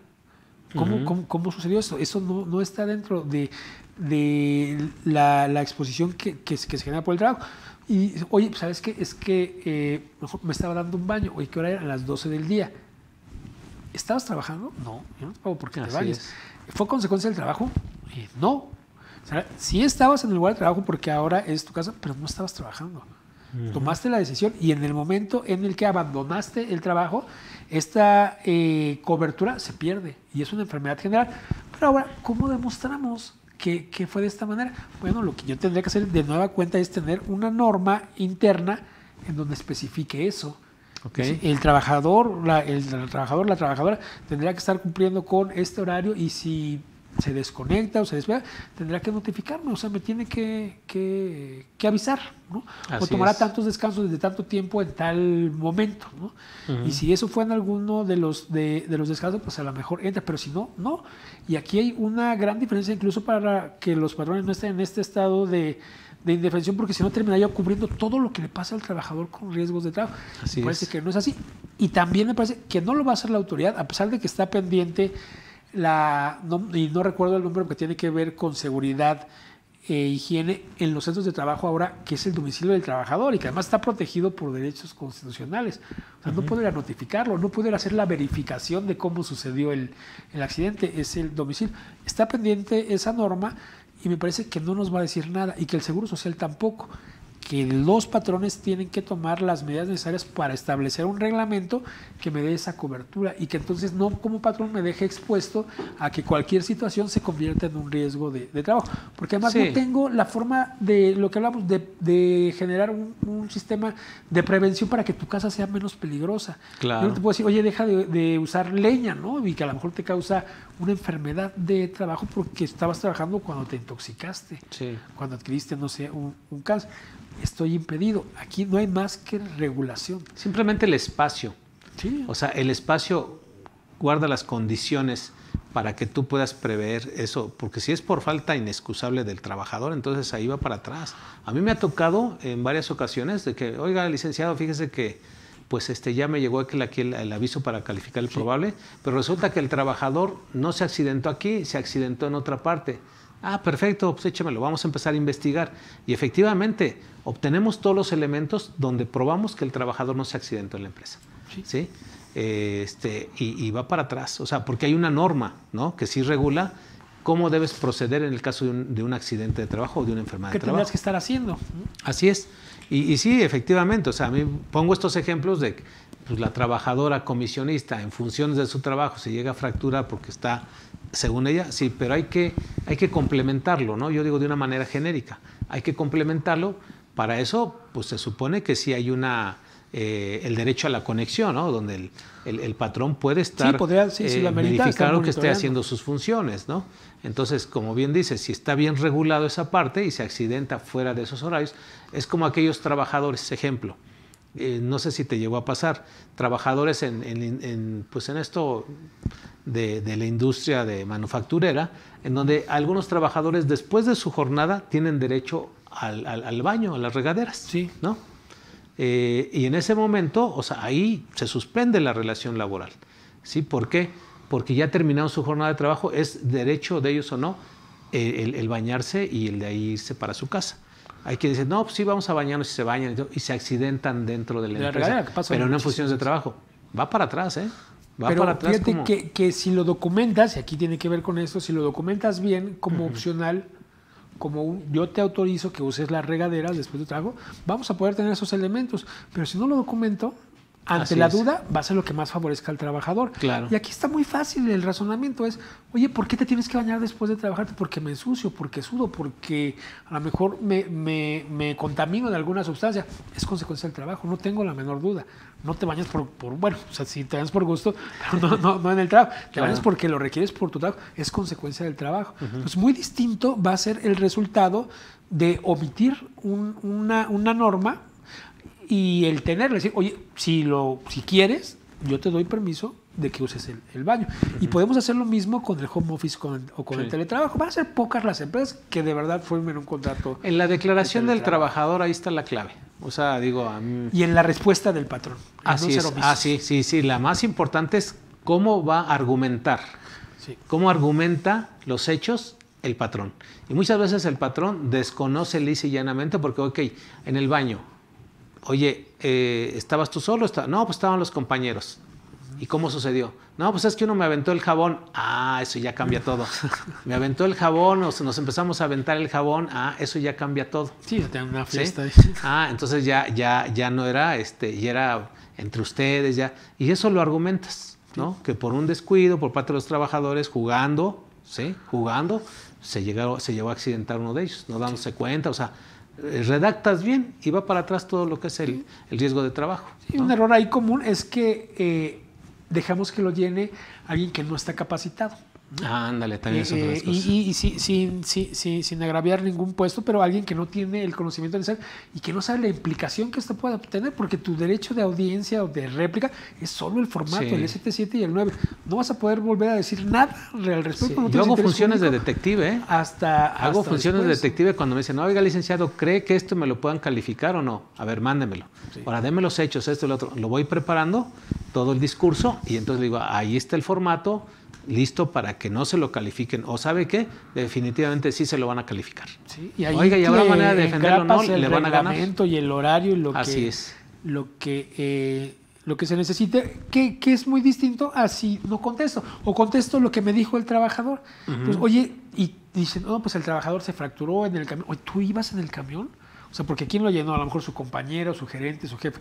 No, pues se fracturó en el microbús. Y eso puede ser hasta falsedad de información. Y, oye, ¿tú ibas en el microbús? ¿Tú, ¿Tú viste que, que él se fracturó? No. Entonces, él me dijo, refiere el trabajador que en el trayecto, pero yo no lo vi. Yo lo vi que llegó cojeando. Así es. O sea, eso sí me consta, entró o no entró cojeando, ¿no? O sea, no entró, no entró eh, con, con alguna, con alguna dolencia. Entonces, no digamos cosas que no nos constan. Así es. O sea, porque Y lo que sí tiene seguridad, y lo decimos así claramente, declaro bajo protesta, decir verdad, que el trabajador ingresó así, tal, tal, y, y ahí va tu manifestación. ¿no? Sí, porque los trabajadores además pues son, es muy natural Sí. exacerbar las cosas y dicen, no, pues hasta chispas vi, ¿no? O sea, hasta la lumbre vi, Sí, no, pues sí, sí, ellos, les- pasó aquí. ellos le van a exagerar, digo con todo respeto, Sí. y sí sé que un accidente, por muy mínimo que sea, pues a veces sí duele, ¿no? ¿Cuántas veces nos ha pasado nosotros que nos resbalamos un escalón? Sí. Y dependiendo, dice, ah, te resbalaste, pues, a lo mejor no te pasó nada ni te dolió, pero hay veces en que estás tan sensible o el descuido que ese, ese golpe te llega a lastimar columna y te llega a lastimar este, rodillas, ¿no? Y dices, Sí. ay, es increíble que en un minuto, en un segundo pasó todo esto. Pues sí, llega a pasar. Entonces hay que, hay que prevenir, prevenir siempre. Bien, vamos a, a contestar ahí otra preguntita. Eh, Ángeles Hernández, buenas tardes, excelente tema. Muchas gracias, Ángeles. Tengo un cliente que en este año, que este año me solicitó mis servicios y al revisar su prima de riesgo, no le han presentado ninguna declaración. El cliente inició operaciones en 2015. Le voy a presentar su declaración del ejercicio 2021 y del cual solo voy a disminuir la unidad que, porque ya no tiene riesgos. ¿Qué se hace con los años que no le presentaron, bueno, que no se presentaron las declaraciones? Estaban estando obligados. Eh, ok, aquí eh, hay dos cosas. Uno es la facultad de obligación del instituto para determinarla. Así Entonces, es. ante la falta de información, ante el incumplimiento de mi obligación de presentar esta eh, revisión, el instituto tiene la obligación de eh, estimarla con los elementos que yo le di o que él recabó a través de los trabajadores hasta de las páginas de internet y de establecer, esta es, tu, esta es tu prima y con esa eh, incluirla en las emisiones y con esa hacer la, la gestión de, de, de cobro. ¿No? Ante la omisión eh, sería esta, eh, esta situación, o sea, el, la facultad del seguro de la rectificación. Y ahora, bueno, pues ya tendría que tomar esa para poder presentar la declaración. Si son los últimos años, estamos hablando de 2015, bueno, Están, están los últimos cinco. Mira, si lo vemos desde un punto de vista conservador, Sí. la ley del Seguro Social tiene la facultad, ¿sí? Eh, El instituto más bien, Sí. mexicano del Seguro Social, tiene la facultad de cobrarte las cuotas omitidas por los últimos cinco años, ¿no? Entonces, si lo vemos desde un punto de vista conservador, eh, sería así, pero eh, en lo particular con este tema hay como un corte cada año. Y si en ese corte el Seguro Social no te cobró, vamos, el del 2015 tuvo 2016 para notificarte la rectificación y para decirte cuál era. De, de no, de no este, notificarte y todo eso, eso, eso, esas diferencias por riesgos de trabajo de 2015, ya en 2017 ya no te las van a poder cobrar porque ya terminó el periodo del Seguro Social para poder notificar, rectificar esa prima. Y se va encadenando desde mi punto de vista. Porque la otra es decir, ah, pues presenta las declaraciones correctas, como si fuera una auditoría por los últimos cinco años, preséntate las declaraciones correctas y si hay diferencias a cargo, págalas y, este, y listo. ¿no? Sí. Pero pues eso le va a traer una carga administrativa, hay que estar pagando a lo mejor diferencias ahí, digo, hacer eh, declaraciones este, eh, de cuotas complementarias, ¿no? Esa es una. Y la otra es haciendo esos cortes, este, como bien lo dices. Sí, aquí yo lo que preguntaría primero es, probablemente sea el caso en donde tiene menos de 10 trabajadores. También. Y si tienen menos de 10 trabajadores, aquí hay un, un tema. En caso de que tengas 10 o menos trabajadores, la presentación de, de esta, de esta revisión es opcional. Así es. Pero ojo con esto, a pesar de que no, no está claro en la ley, porque uno pensaría, es opcional, pues cuando quiera la presento y cuando no, no. Tuve accidentes, no la presento. No tuve, la presento y bajo un punto. Pero la, aquí, la, la- la conducta que la autoridad espera es, decídelo una vez. O la presentas y ya siempre me la vas a presentar, o no la presentas y ya nunca me la presentas. Pero no lo dice. No lo Así dice es, la no, ley. no lo dice. Entonces yo podría, exponiéndome a, que, a, ser, a ser cuestionado, presentarla. Oye, este año cuántos tenemos? Tres, no la presentes. ¿Cuántos tenemos? Ninguno, preséntala para que me baje un, un punto. Podríamos estar ante esta, esta situación. En, en realidad, si no fuera esta situación, y yo creo que, que- que en este caso el patrón sigue cotizando con la media, ¿no? Por todo el tiempo que, que lleva, si tiene la obligación de presentarla, eh, seguramente ya se las notificaron. O sea, ya se las notificaron y hasta está en las emisiones. Y aquí la recomendación pues revisa las emisiones y ve cuál es la prima con la que se ha, eh, con la que se ha generado. Y creo que lo correcto sería pues tomar la que el Seguro Social determinó como base para eh, hacer la, operación con esta y presentar la, de febrero. Sí, este sí ahí, ahí eh, digo, a veces sí nos falta que nos den un poquito más este, la información completa, es a veces difícil traducirla, ¿no? Pero en las recomendaciones, bueno, pues número uno, sí eh, yo siempre he dicho, como un buen profesional, tú lo que tienes que hacer es primero hacer el cálculo, de, por ejemplo, a mí me dan un trabajo como este, hago el cálculo de los últimos cinco años de esa declaración y de las cuotas sobre patrones y decir, ah, bueno, este es el escenario, ¿no? Ahora hay que ver qué nos dice la ley, ¿sí? ¿Cuándo sí debo presentar esa declaración? ¿Cuáles fueron los plazos? Pues el plazo fue febrero. Oye, y la puedo presentar, porque eso tiene que ver, una declaración del año 2020 que debiste haber presentado en febrero 2021, ¿la puedes presentar ahorita, en junio? Ah, bueno, ahorita en... Eh, no, no, no, porque ya el seguro tuvo que haber determinado, del seguro ya tuvo... Ya no te la acepta el Seguro Social, no te la acepta. ¿Sabe qué? Es que el único mes para recibirle la declaración es febrero 2021. O sea, en este caso, del año 2020. La declaración como tal. La pura declaración como tal.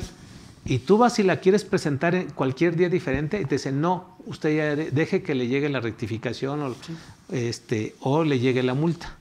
¿sí? Y no te la reciben.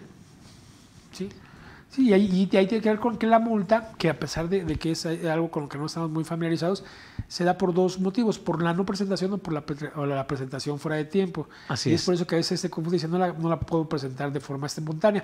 Pero la declaración, o sea, o esta revisión anual de la siniestralidad no es el único vehículo para modificarlo. Porque si bien yo podría tener algún impedimento para presentarlo, sí puedo decir, ¿sabes qué? Que hace tres años compré un camión. Y ese camión yo fui omiso y no te notifiqué que, cambia, que, mi, que mi actividad cambia. Entonces, hoy, así tres años después, o después, te estoy diciendo que hace tanto tiempo esa modificó y ahí me debí de ir a la prima media. Así es. ¿no? O si cambié de actividad. Y entonces, devuélveme el dinero porque ya no, ya no, ya no estaba en 15%, estaba en la prima media de la de de la clase 5. Así Ahí podría funcionar. ¿Y por qué? Devuélvemelo. Oye, pero es que ese dinero me lo, me lo pagas. Sí, pero es un pago de lo indebido, porque la prima, yo fui omiso en avisarte que cambié mi actividad. Claro. Y entonces, hasta una generación de una. No, no, no te le vuelven a dar una nota de crédito para que. Sí. sí, a veces hay alternativas, ¿no? Que hay que estar checando bien, pero digo, número uno, número uno este, tendría que este, Digo, ahí desde mi punto de vista, yo creo que ya no va a proceder nada, simplemente que presente la declaración del último año, 2021, o sea, para ahorita en febrero, que la determine bien y con base en los datos 2021, riesgos de trabajo terminados, 2021, que presente su declaración y listo. Hay que, que nos cuente porque eh, sí, excepto si tiene menos de 10 trabajadores. Sí. Porque si nunca la presentaste y ahora vienes a presentarla porque ya bajó, ya no te la voy a querer aceptar, aunque yo creo que deberían. Sí, no, yo estoy seguro que, mira, eh, incluso yo he presentado declaraciones, un tip a través del ITSE, extemporáneas, y no te multan, y proceden, y proceden, ¿eh?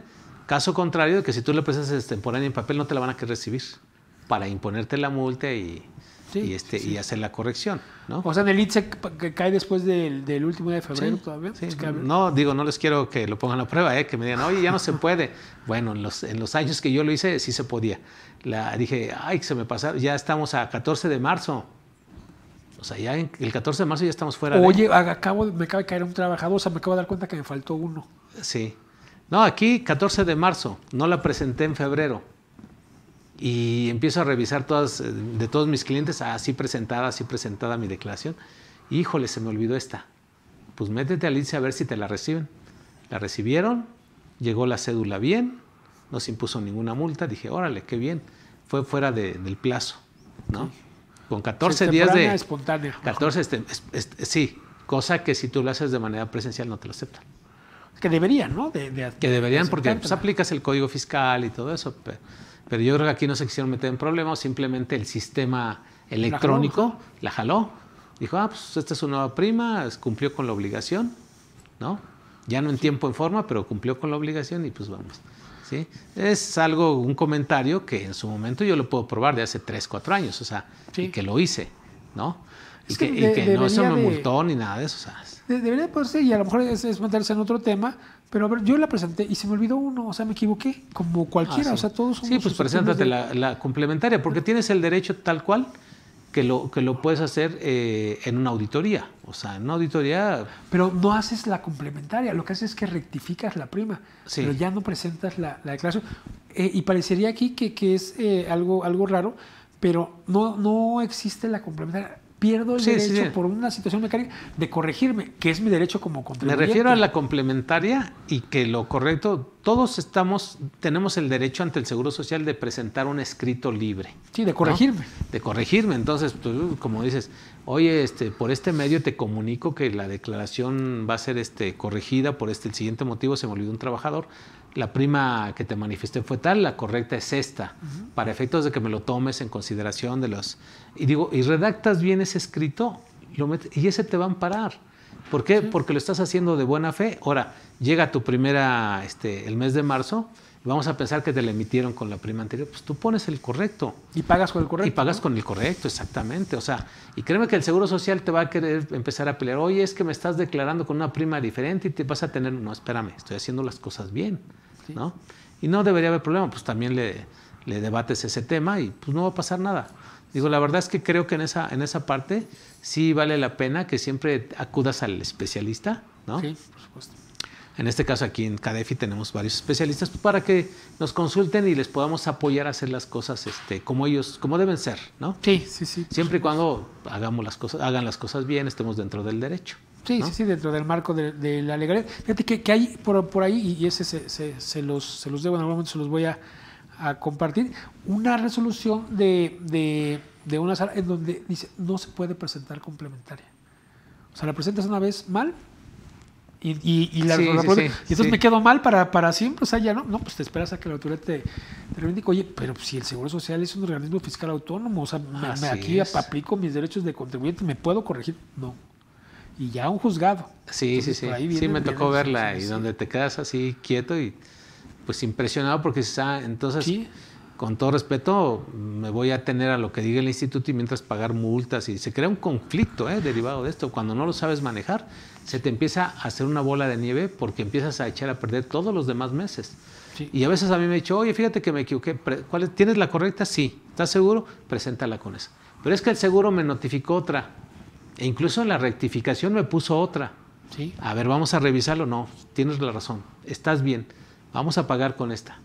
Oye, pero el seguro no va a decir nada. No tiene por qué decir nada. Y sí, efectivamente, después el seguro empieza este, con diferencias. Ah, pues las echamos para atrás, las cancelamos sin Sí. ningún problema. Siempre y cuando tengas la seguridad de lo que tú estás haciendo y manifestando, está, está bien. ¿no? que hoy no la tenemos. ¿No? Hoy no la tenemos y, y- y me refiero a algo que seguramente tendremos que, que estar platicando, que es COVID, ¿no? O sea, COVID calificado como riesgo de, de trabajo, como enfermedad o co- como accidente, como, como enfermedad de trabajo. Y aquí recordando que pues, tenemos hasta febrero para presentarla. Pero el Seguro Social ha emitido miles, miles, no sé si, si llega ya a millones de estos permisos COVID que bajo algunas circunstancias se van a poder calificar como riesgos de trabajo Como enfermedad de trabajo. como enfermedad de trabajo y no, no antes de febrero. O sea, porque no, no hay tiempo, no hay quien lo haga, o sea, están saturados. Entonces puede ser que alguna enferme, que, que alguno de los permisos COVID o alguna de las enfermedades que, que adquirieron los trabajadores de COVID se califique a posteriori, o sea, después de este febrero como riesgo de trabajo. Entonces aquí hay que estar muy listos y decir, bueno, pues sí entiendo, ¿no? Que estamos en una situación atípica y ok, lo, si eso fuera mentira, lo tomo, pero no me vas a cobrar multas. Claro. O sea, no vas a cobrar multas y no me vas a cobrar Bueno, yo ni, yo ni siquiera lo tomaría, ¿eh? Porque no respetaron el debido proceso. O sí, sea, no, no, pero tienen la autorización. porque el Seguro Social nunca me lo notificó. Digo, ahí hay que hacer valer la ley y hay procedimientos, ¿no? El trabajador me debió haber comunicado, ¿no? Este, yo le debí haber comunicado al instituto. O sea, simplemente aquí se está brincando todas las reglas del juego, ¿no? El trabajador dice, tienes síntomas, quédate en casa, mete el reporte, mándaselo. Obtén tu certificado, tu permiso y mándaselo al patrón. Sí, ¿sí? Para amparar tu ausentismo. sí. No, no, pues qué padre. Y, y cuando le comunicó, en términos de la ley, al patrón, oye, ¿qué crees que ya aquí viendo, ya confirmé si efectivamente este, di positivo, si es, de, de- de- de- es derivado de... de- Me contagié ahí, ¿no? O Me sea, contagié la- ahí, o sea, tendrás que probar todo eso. Ah, ok, o sea, para probar eso va a estar complicado. Ahora, ese procedimiento ya le notifiqué al patrón. ¿no? No lo van a hacer. El trabajador se va a brincar todo eso. Pues, yo nomás te mando el, el permiso COVID para decirte que probablemente tengo el, el, el, Sí, que el tengo seguro los síntomas. Ya, ya, ya, ya, ya sacó fondos del seguro. Tengo los síntomas. Ahorita de enfermedad ¿no? general en maternidad. Sí. Y ahora, yo, yo desde mi punto de vista, o sea, una, un, un- incidente así como este que, que es temporal de, de días, Sí. que además dijo el Seguro Social, siete días, realmente es una enfermedad de trabajo, aquella hipertensión, aque- a- aquella, este, pues otra otra enfermedad, eh, bronquitis, o de las que están en la ley del trabajo Sí. este, listadas. Realmente, pues digamos, aunque lo metan ahí, desde mi punto de vista, no, digo, sí las, las secuelas o las consecuencias, pero si es así, imagínate, no acabaría esto nunca. ¿Por qué? Porque dicen que el COVID trae secuelas, Sí. Ay, sí, sí, pero, sí. pero, pero no fue, digamos, no fue de una enfermedad de trabajo. O sea, es que una enfermedad de trabajo, pues vamos, es como dice, una acción continuada derivada de una causa.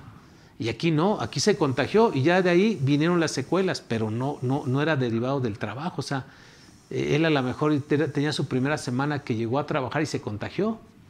Yo creo Nunca que- había que- trabajado. que no debería de ser considerado como una enfermedad de trabajo, pero tendría muchas dudas sobre un accidente de trabajo. Porque aquí sí es intempestivo, o sea, me contagié por accidente. O sea, y sufro una, una, una lesión, sufro un menoscabo. Y ante la pregunta que, que nos hacíamos al principio, ¿esto me hubiera pasado si no hubiera venido a trabajar? ¿O si no estuviera trabajando? No.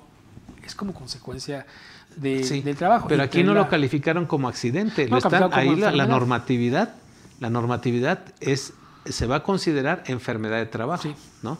Entonces, como te digo, pues están brincando todo. Aquí ya, yo desde mi punto de vista, cualquier patrón que tenga una situación así, pues que se acerque a nosotros y con muy gusto hacemos el estudio, porque mira, a veces te tienes que apoyar hasta con neurocirujanos y, y psicólogos y todo eso para poder definir si realmente se considera. Te digo porque nos ha pasado. O sea, personas que han tenido este, convulsiones, ejemplo, dicen, oiga, es que aquí en la empresa cuando viene, este, resulta que eh, llega a casa y le dan las convulsiones, dice que pues, es el estrés o no sé.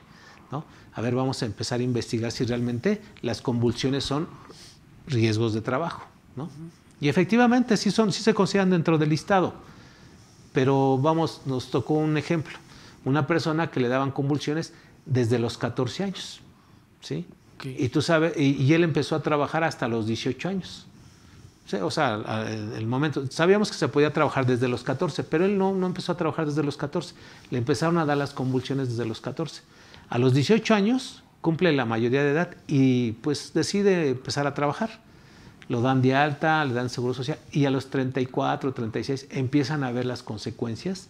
Eh, quizá eh, entre más años iban pasando, tenía más compromisos, más responsabilidad laboral.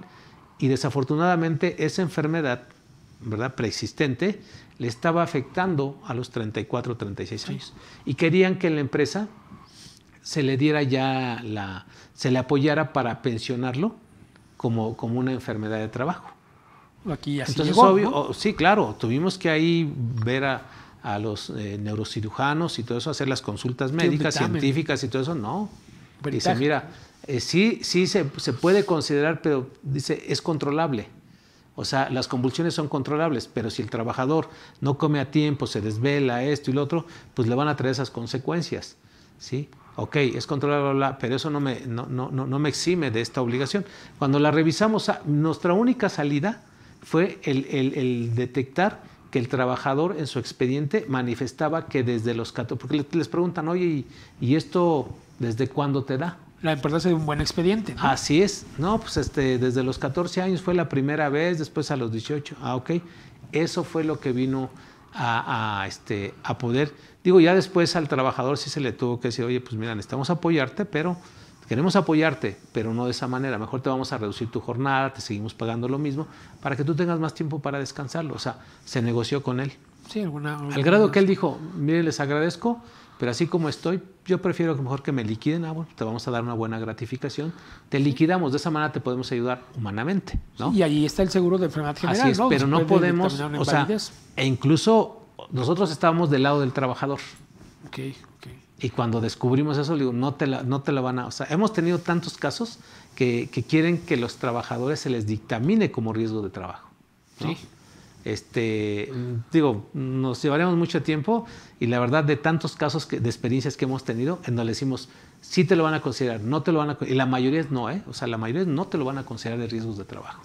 Fíjate, es increíble. sí, y, fíjate, aquí eh, el Seguro Social ahora, en lo que se, ampara, utiliza como argumento, que, a mí me parece pues que, de alguna forma es, es viable. Sabes que yo entiendo que no está en la lista de enfermedades, o sea, eh, eh, lo, lo, entiendo, porque esta enfermedad no existía. Así es. Y esto no quiere decir que no tenga el trabajador derecho. ahora, una cosa es el COVID y otra cosa es el Omicron. Sí, sí, sí. sí o sea, además, ahora, ahora tienen que meter el Omicron, Omicron o todos el Delta, todo lo que Sí, o, generalizarlos y englobarlos y a lo mejor incluirlos, que no creo que vaya a suceder. Pero aquí el razonamiento sería, a ver, estamos en México ¿no? y tenemos la ley federal del trabajo, que, es una ley de, interés social. Y la ley del Seguro Social, pues, eh, más bien la ley federal del trabajo es supletoria de la ley del Seguro Social. En primer lugar, o sea, lo primero, ante la falta de, criterios o de elementos para tomar una decisión, tengo que referirme a la ley federal del trabajo. Y la ley federal del trabajo justamente me dice, oye, cuando yo no te diga claramente qué hacer, no te preocupes, lo que más le convenga al trabajador, eso es lo que va a proceder. Ese es mi espíritu, ese es el espíritu de esta ley y en consecuencia de la ley del Seguro Social bajo alguna circunstancia.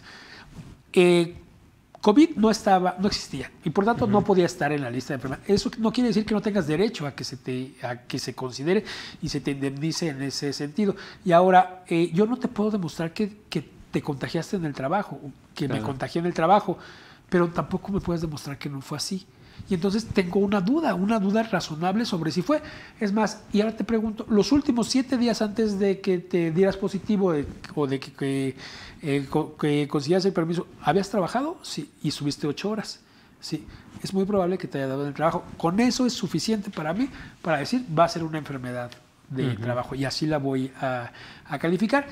Y aquí recordemos que el patrón en este momento va a decir, oye, te la califico como riesgo de trabajo. Yo no puedo levantar la mano y decir, no, no tengo interés jurídico. O sea, yo voy a decir, oye, con el seguro social, decir, no, no, aquí esto no, no, no procede.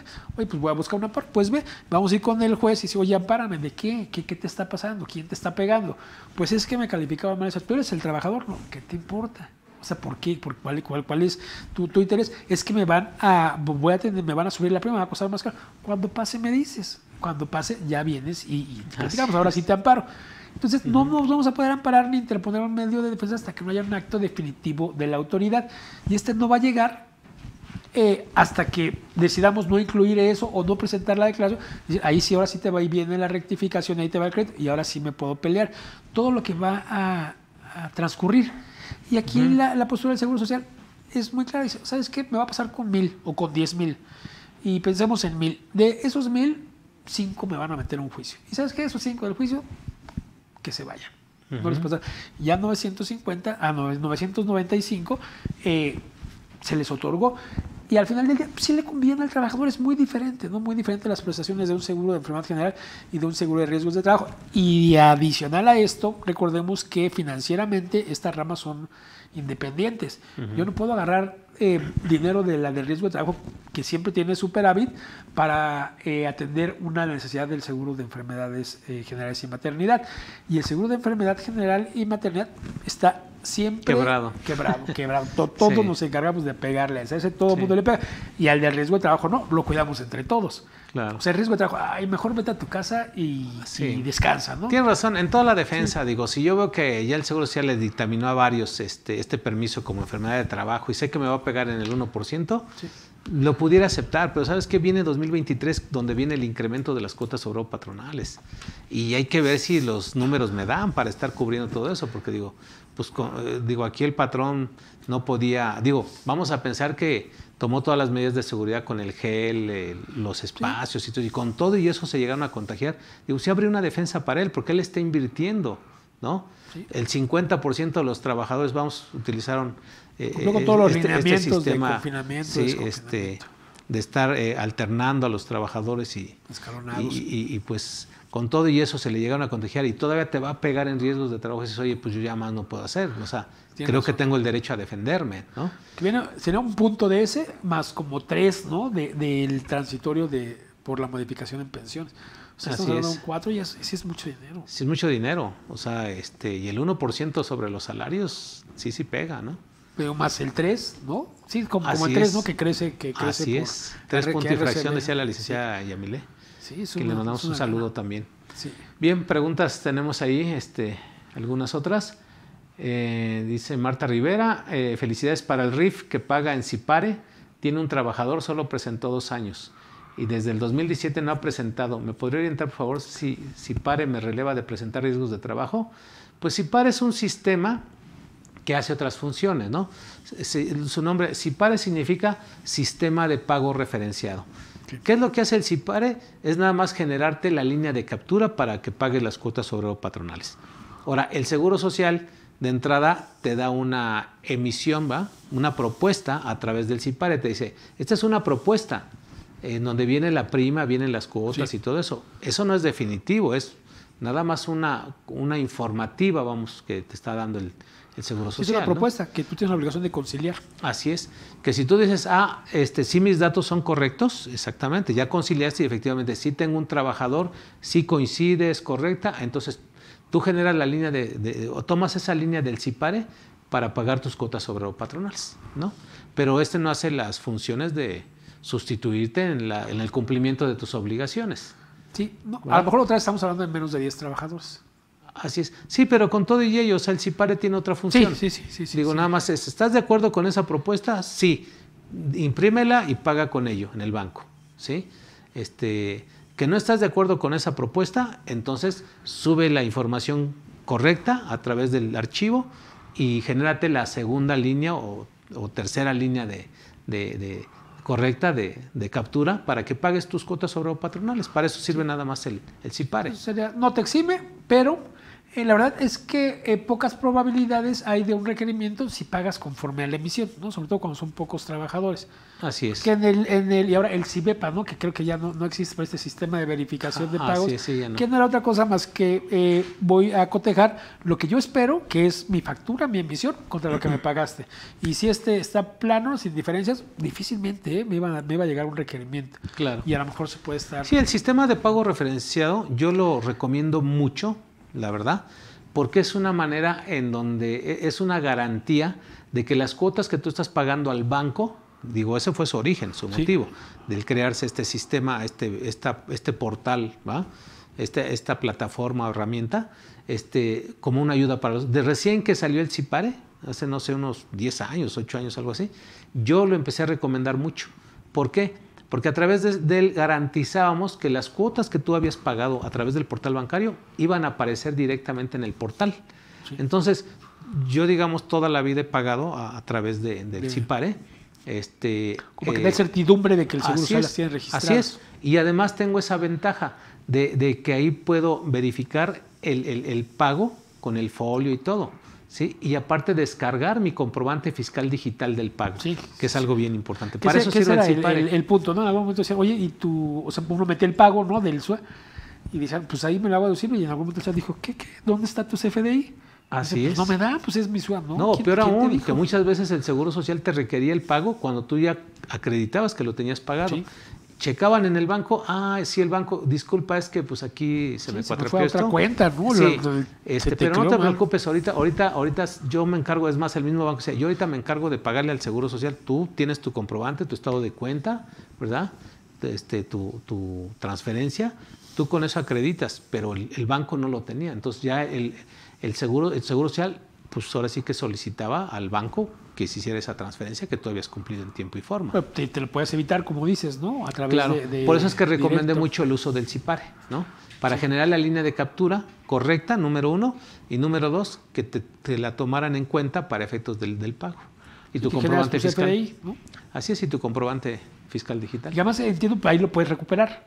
Sí, sí, sí. porque pierdes tu, tu hoja del SUA y tu disco Sí, del SUA. o sea, y- todo lo tienes electrónico. Caminaste. Nada más que algo bien importante es que esa propuesta que te emite el, el IMSS cada mes, la, la tienes que estar descargando cada mes, porque si no, al siguiente mes ya te la desaparecen. O sea, ya, Sí, ya no está. como que se sustituye Se, una se por otra. sustituye. Entonces siempre hay que estar guardando esas líneas de captura. Digo, las ocupes o no las ocupes, ¿verdad? Si las ocupaste para pagar, bien. Ya nomás ad- adjúntale electrónicamente. Digamos, en procedimientos, yo les digo, bueno, ya pagaste con esa línea de captura, ya la descargaste, ya hiciste tu transferencia, el, mismo pago, el mismo pago electrónico, adjúntalo en ese archivo donde tienes pares, ¿verdad? Este, emisiones pare. Ahí tienes la emisión de cada mes, enero, febrero hasta diciembre, y también tienes si pare comprobante de pago enero, si pare comprobante de pago febrero. O sea, ya debes llevar una administración bien y todo es digital. Entonces yo digo, pues la información imprímela, es más, de ahí se las mandamos al área de contabilidad para que de ahí contabilicen y todo eso. Pero les mandamos la línea de captura y les mandamos lo que es este el pago de esa línea de captura. Entonces con eso la verdad sistematizas todo, todos los procesos, ¿no? Está, padre porque yo llevo una organización en ese, sentido que se la hace aquí en cursos cuando manejo este taller del SUA, CIPARE, sí. ITSE, les digo, ah, miren, pues todo se puede llevar en una sola carpeta que se llama cobranza. Ahí tienes tu, carpeta de avisos de afiliación, cédulas de emisión, este, riesgos de trabajo, tus archivos electrónicos de la declaración, esta que estamos eh, hablando el día de hoy. Pues ahí mismo ese, ese DAP, como el acuse de, recibido por parte de, del ITSE, del instituto, este, ahí lo tienes, entonces hasta, se los, hasta los muestro, ¿no? Para que vean, miren, aquí los voy generando año por año mis declaraciones de riesgo de trabajo y aquí voy adjuntando el acuse de recibido en una sola carpeta que está dentro de cobranza que se llama riesgos de trabajo. ¿No? Pues ahí está claramente el motivo por el que deben contratar a un profesional, ¿no? Porque lo dices con mucha facilidad. Sí. No, y ahí mismo en riesgos de trabajo tengo los incidentes de enero, febrero, o sea, e, e, ese, ese que te tengo, de todos tengo en un expediente, en un, en un folder, que se llama Riesgos de Trabajo 2021 y ahí este, los tengo clasificados por enfermedades, eh, eh, riesgos de este, accidentes y accidentes en trayecto, ¿no? Entonces, todo eso, si eres bien ordenado, pues la verdad, la autoridad fácil le puedes probar cualquier cosa. Entonces, nadie, ¿no? Bueno, tú, no. Sí. es muy complicado que alguien te Sí, no, y es una carpeta que el mismo seguro dices, ahí, ahí, te la exhibo, ahí tengo todo, ¿no? Sí. ¿Sí?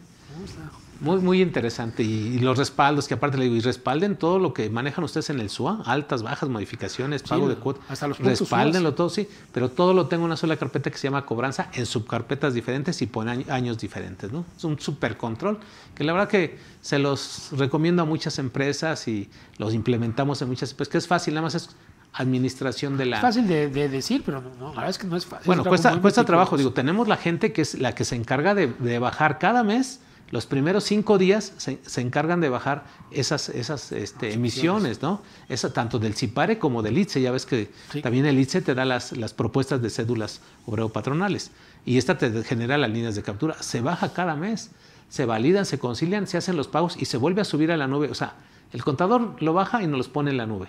Y nosotros también hacemos el pago y se lo ponemos en la nube para que a su vez se lo mande a contabilidad y pague, este, registre contablemente todo eso sí, suena fácil, pero ya cuando lo tienes bien implementado. Sí, sí, sí, sí es, eh, metódico. Y parecería que mucho de esto se va a resolver, se va a facilitar a través del buzón IMSS. Así es. parecería que, el plan es tener ahí todas las emisiones, el tema del CIPARE, todo junto y además consultar, o sea, lo vas a poder consultar, o sea, vas a poder regresar, ya no se va Se supone que esa plataforma venía a consolidar toda la información. Y dices, ay, pues qué padre, porque ahí voy a tener todo, ¿no? Todos mis, mis, comunicados, todas mis notificaciones, y ahí van las cédulas también. ¿No? el único Pero no, lo dejaron, lo dejaron parado. O sea, incluso el SAT ya tenía su buzón tributario en donde empezaba a manejar lo del IMSS. Sí. y, lo, y lo abandonó, y lo abandonó. ¿eh? está el proyecto ¿eh? del, buzón IMSS y fuerte le está dando. Se atravesó la, la, la pandemia, pero eh, ese yo creo que, en algún momento, no lo pueden hacer obligatorio, tendrán que modificar, ¿no? Al menos la, Así es. ley. sí, está en vigor. Eh, cualquier persona que quiera tramitar su buzón IMSS es también recomendable. Yo, tramité mi buzón IMSS de todas las empresas en su momento, porque siempre digo, pues, capacitación con experiencia. Hay que poner el ejemplo, cuáles son los beneficios. La verdad lo recomendé mucho.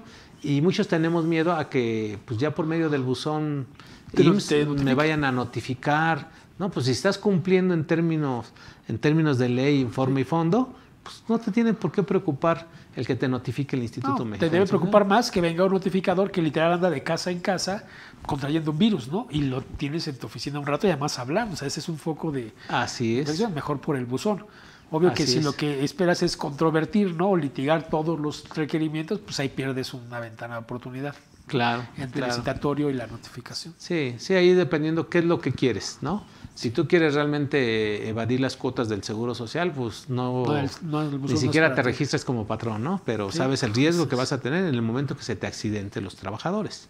Sí. Sí, o sea, por todas hay, hay un riesgo, ¿no? Así es. Bien. No sé si tengamos alguna otra pregunta. A ver si me ayudas. Sí, nos dice eh, Alberto Montes de Oca Tengo una pregunta. Eh, ¿No me afecta tener un grado 2 de riesgo en una, en una purificadora y si baja al punto 50% por falta de riesgos, ¿no hay consecuencias? De 2 al punto 5 no se puede. Es del 2 a 1, ¿no? Baja a 1. Yo, pues yo supongo, y, aquí intentando, que nos está diciendo un clase 2, ¿no? Si estoy en clase 2 en una purificadora. Sí, o sea, no el porcentaje de prima. Ajá, y si baja al punto 5, no hay consecuencias, pues sí, la consecuencia es que vas a pagar menos, ¿no? Sí, pero sí, o sea, sí se puede. O sea, hemos tenido, digamos, eh, en mi experiencia, eh, tenemos una empresa que es transportista en, la clase 5 sí. y, este, y es de la más alta, la, la, media es 7 puntos y fracción. Y empezamos a pagar eh, con esa prima hace 8 años.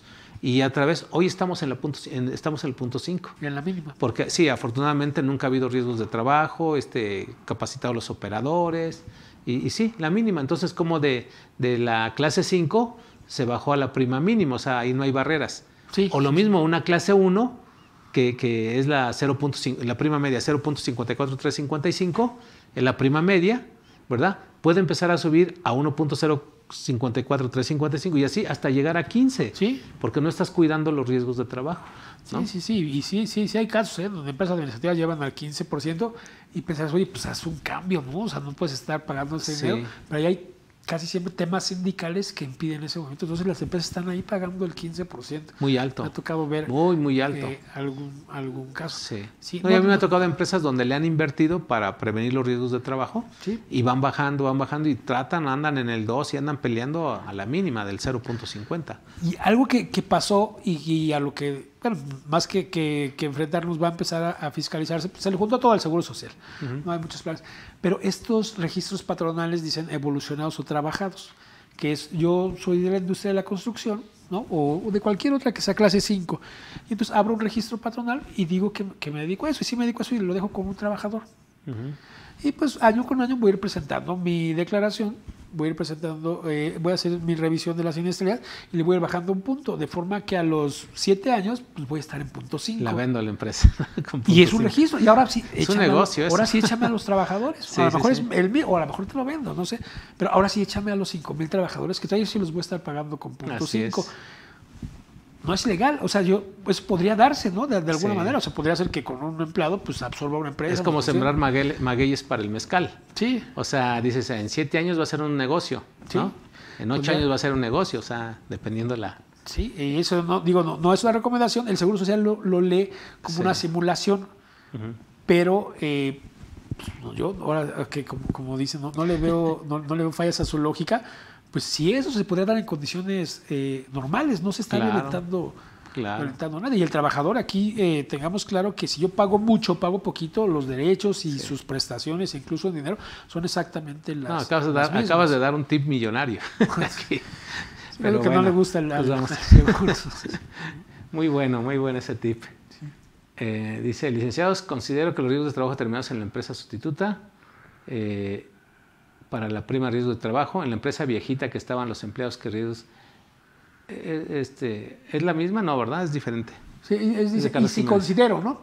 Eh, y si considero los riesgos de trabajo terminados en la empresa sustituta eh, para riesgos de, de, trabajo, en la empresa viejita en la que estaban los empleados de riesgo de trabajo, tengo que considerar. No, ah, no pues ya no, ya, la, ya que la sustituida ya no tiene que considerar nada, esa ya, ya no va a presentar declaración porque ya terminó, esa ya terminaron, tenía, tenía una responsiva, ¿estamos de acuerdo? En una sustitución patronal, bien, sí, claro. pero en estas eh, pseudo sustituciones donde nada más me traje a la mitad ah, ok, no, ahí, ahí sí tiene que...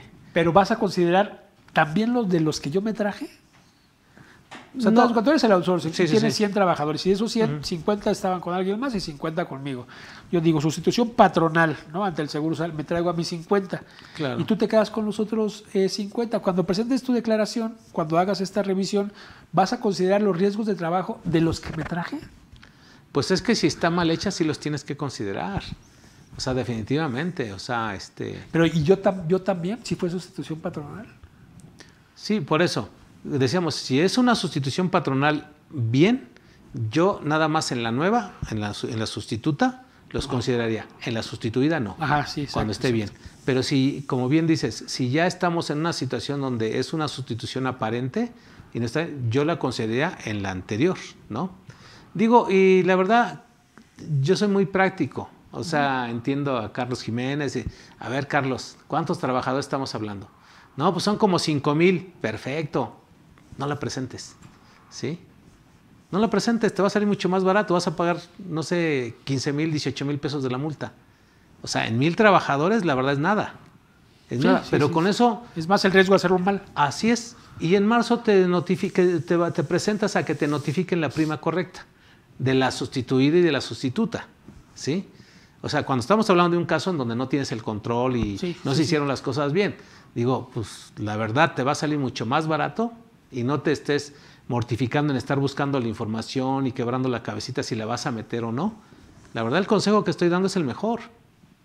Porque, el, porque el empresario va a decir, ah, ok, me parece bien. O sea, si esa es una solución pronta, contador, no la presento, presente la... Fíjate, fíjate, fíjate, fue como, como, ahora algunas cosas van en contra de la lógica. Eso sería, y, yo estoy totalmente de acuerdo, oye, riesgo-beneficio, y además pues ya me la va a dar calculada la autoridad, o sea, no, no nadie, ¿qué crees? Te la di mal, que sí puede ser, te la di mal y ahora es, es esta.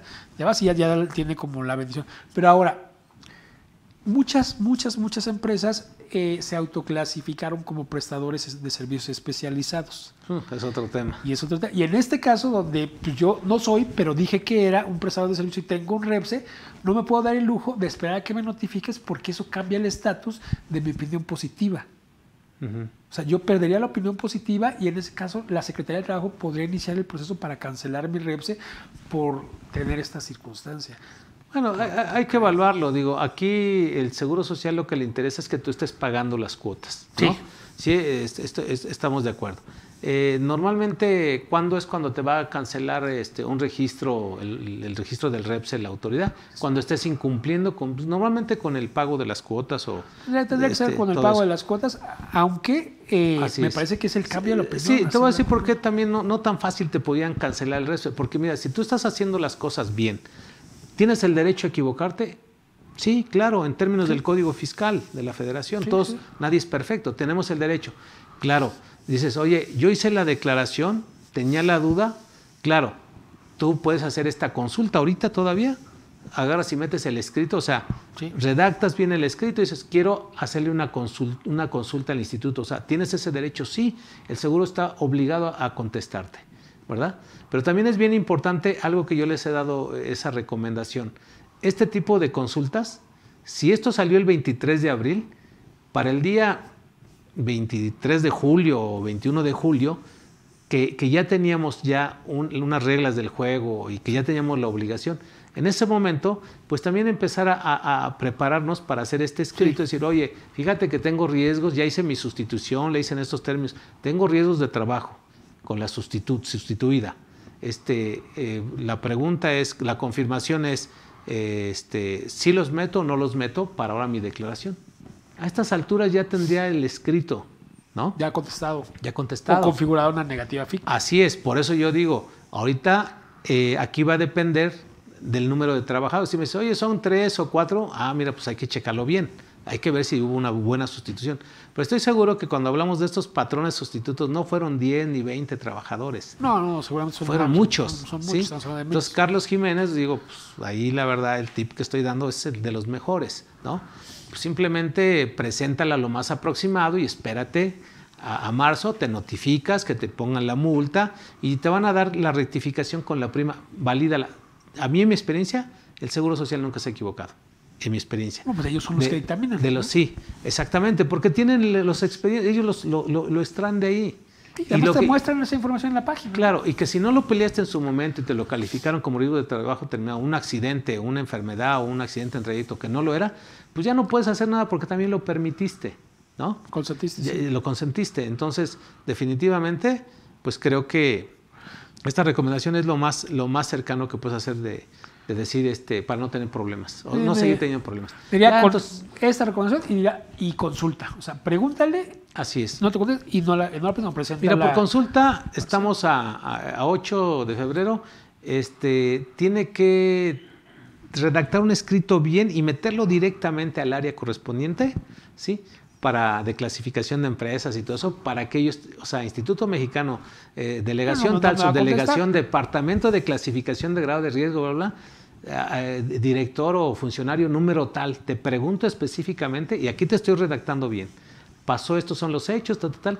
Mi, mi- mi pregunta es, confírmame si entran o no entran, ¿no? Sí. Y créeme que eh, hay probabilidad que, que en un plazo no mayor de, de- de 15 días hábiles se lo resuelvan. Y todavía alcanza a entrar dentro.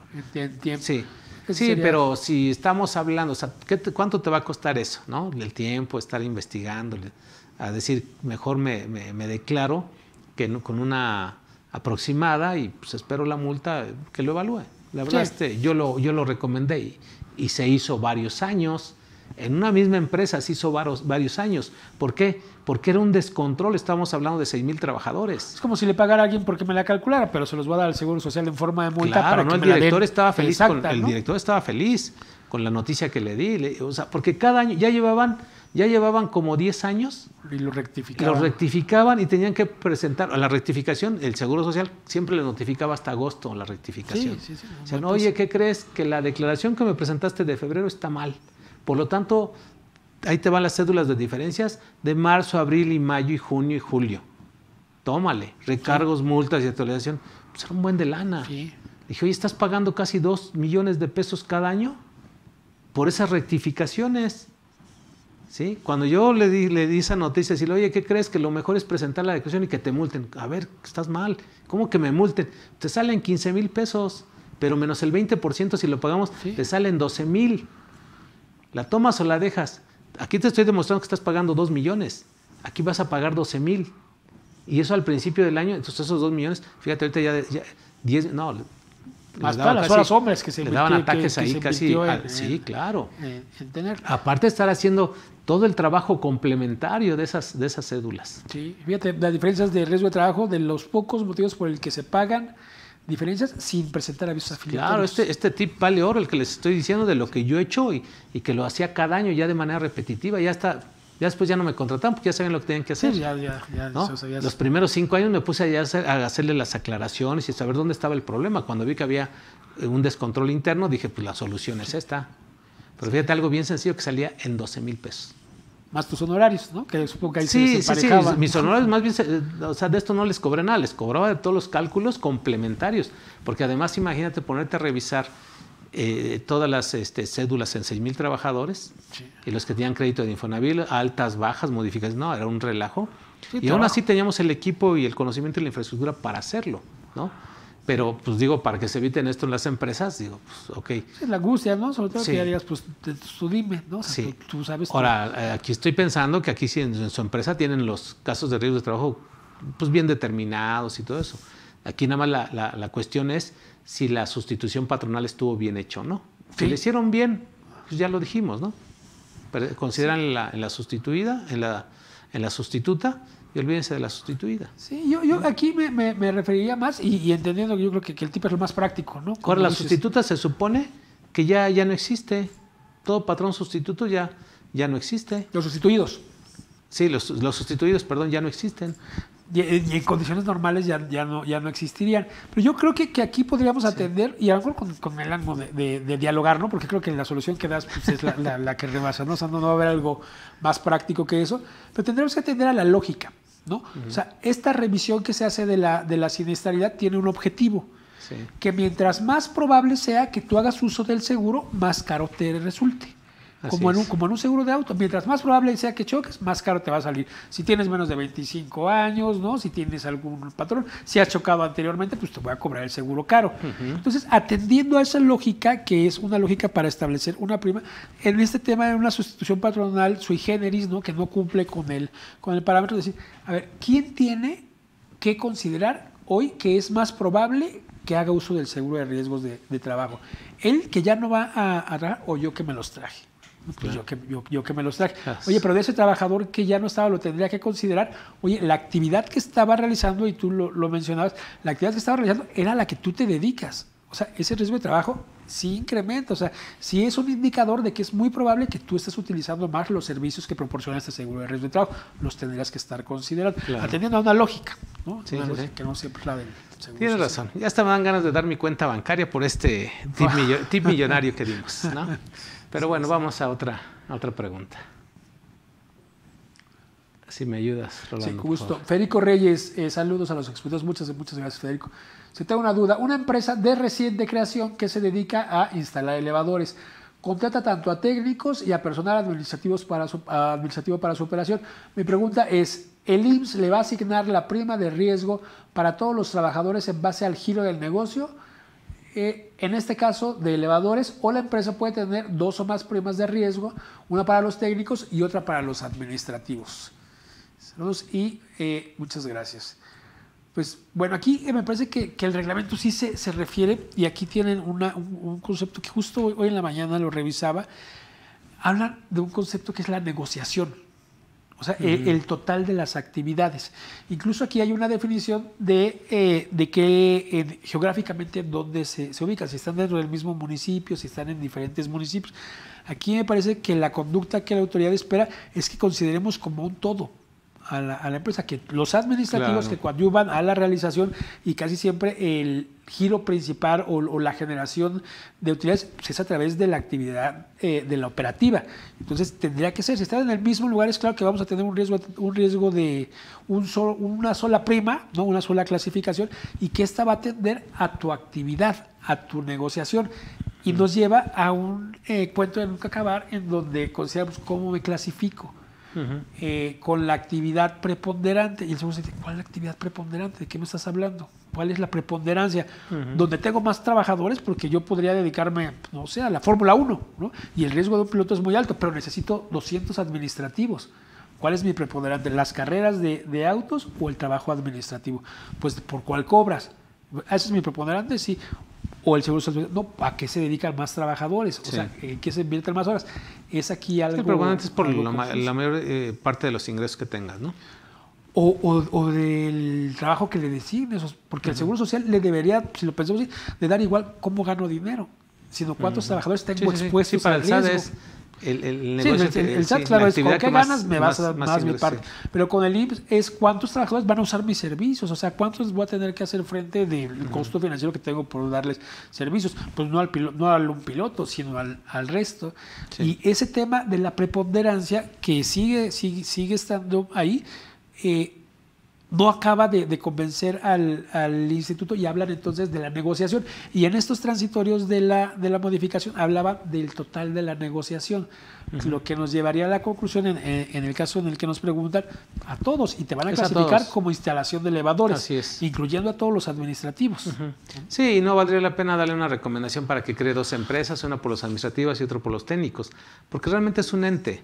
O sea, como bien lo dices tú, o sea, todos coadyuvan para, el mismo ob- objetivo, ¿no? Este, a la instalación de elevadores, mantenimiento y todo eso, o sea, y, y créeme que pues, todos están involucrados, digo. Sí.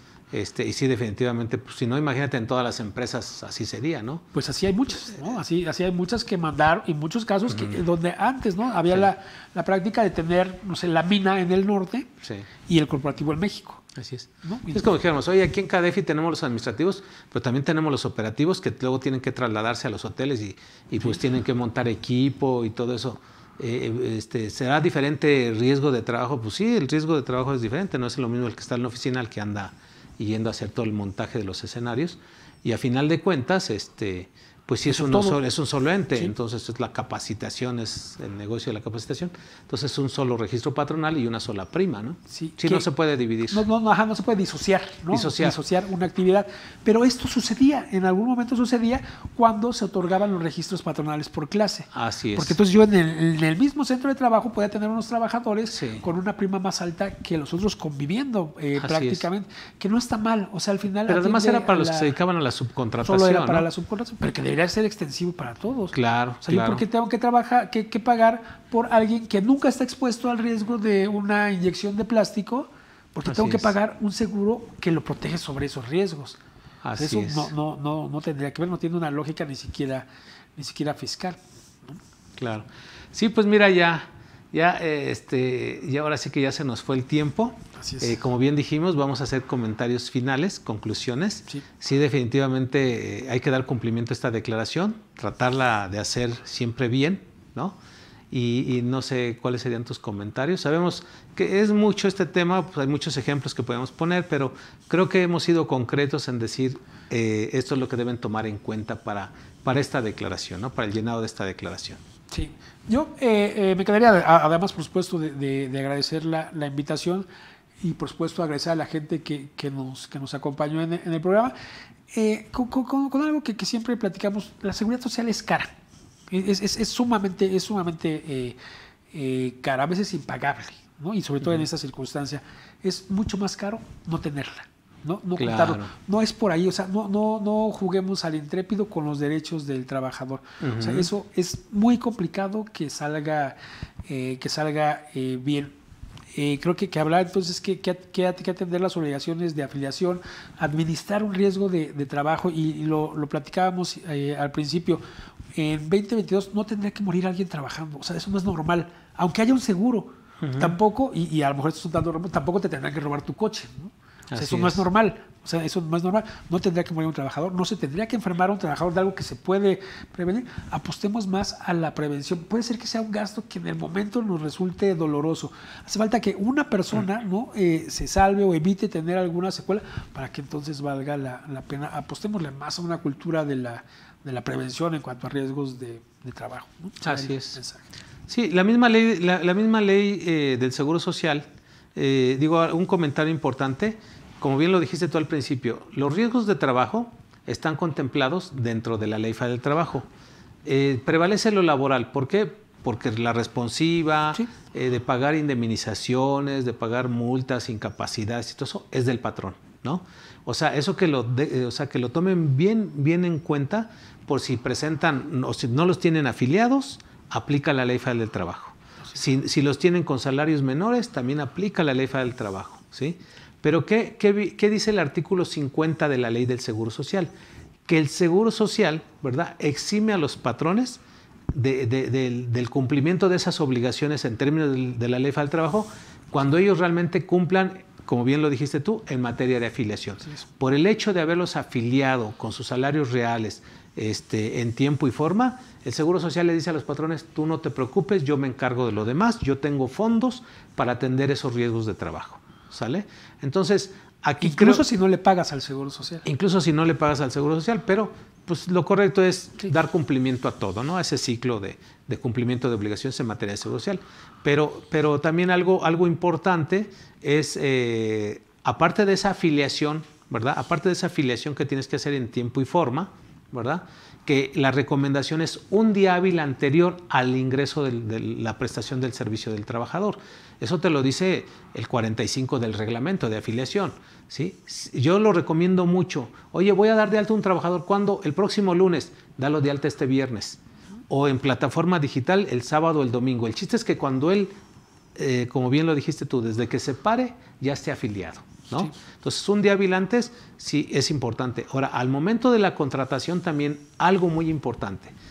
Eh, que llene su solicitud de empleo, que entregue su documentación y dentro de esa documentación un croquis llenado con su puño y letra del el trayecto que hace de su domicilio, ¿verdad?, al centro de trabajo y viceversa, poniendo ahí en ese croquis por qué este, avenidas importantes se va, qué tiempo es el que hace ordinariamente en ese trayecto, para que el día de mañana ese te ayude para en un dado momento una defensa este, en caso de que se llegara a accidentar el, el trabajador, fuera de los horarios, fuera de esos tiempos del croquis también, todo eso te ayuda. ¿no? Sí, y ahí le podríamos eh, eh, sumar ahora que lo dices, si tienes hijos, si los pasas a dejar a la guardería o a la escuela. Exacto. Porque ahora el Seguro Social Sí. tiene... Es, O la despensa, la- vamos, los que tenemos que hacer la despensa Sí. los viernes, ¿no? Dices, oye, este, también aclaro que en estos días hago una, este, un viaje adicional o... Paso a dejar a los niños a la escuela es. y ese sería un riesgo del trayecto. Así es también, así es. Y, deja, y bueno, los riesgos en trayecto simplemente es con este tema que lo dejaríamos fuera del capital constitutivo. Sí, que es ¿no? todo, todo Entonces tema. lo vamos a dar, si tú me lo permites, eh, proponemos ese tema para hablar Sí. los tipos de capital constitutivo, cómo se forman, cómo se integran, cuándo se tienen que pagar, cuándo no se tienen que pagar, ¿no? Porque, como bien lo dijimos al inicio, das de alto un trabajador dentro de los cinco días y, y se enferma de una tosecita, no pasa nada. Cuando es enfermedad no pasa nada, pero cuando se accidenta en esos cinco días y no lo has afiliado, en automático te forman el capital constitutivo. Así es, que es algo que puede eh, eh, incrementarse, ¿no? Es decir, carísimo. Que, no, ya te cobré 5 millones, y no estoy hablando de algo de escala, ya te cobré 5 millones, ¿por qué crees que ya recayó y ahí te va otro capital de 2 millones? ¿Qué crees? Ya se murió, ahí te va la pensión. Así es.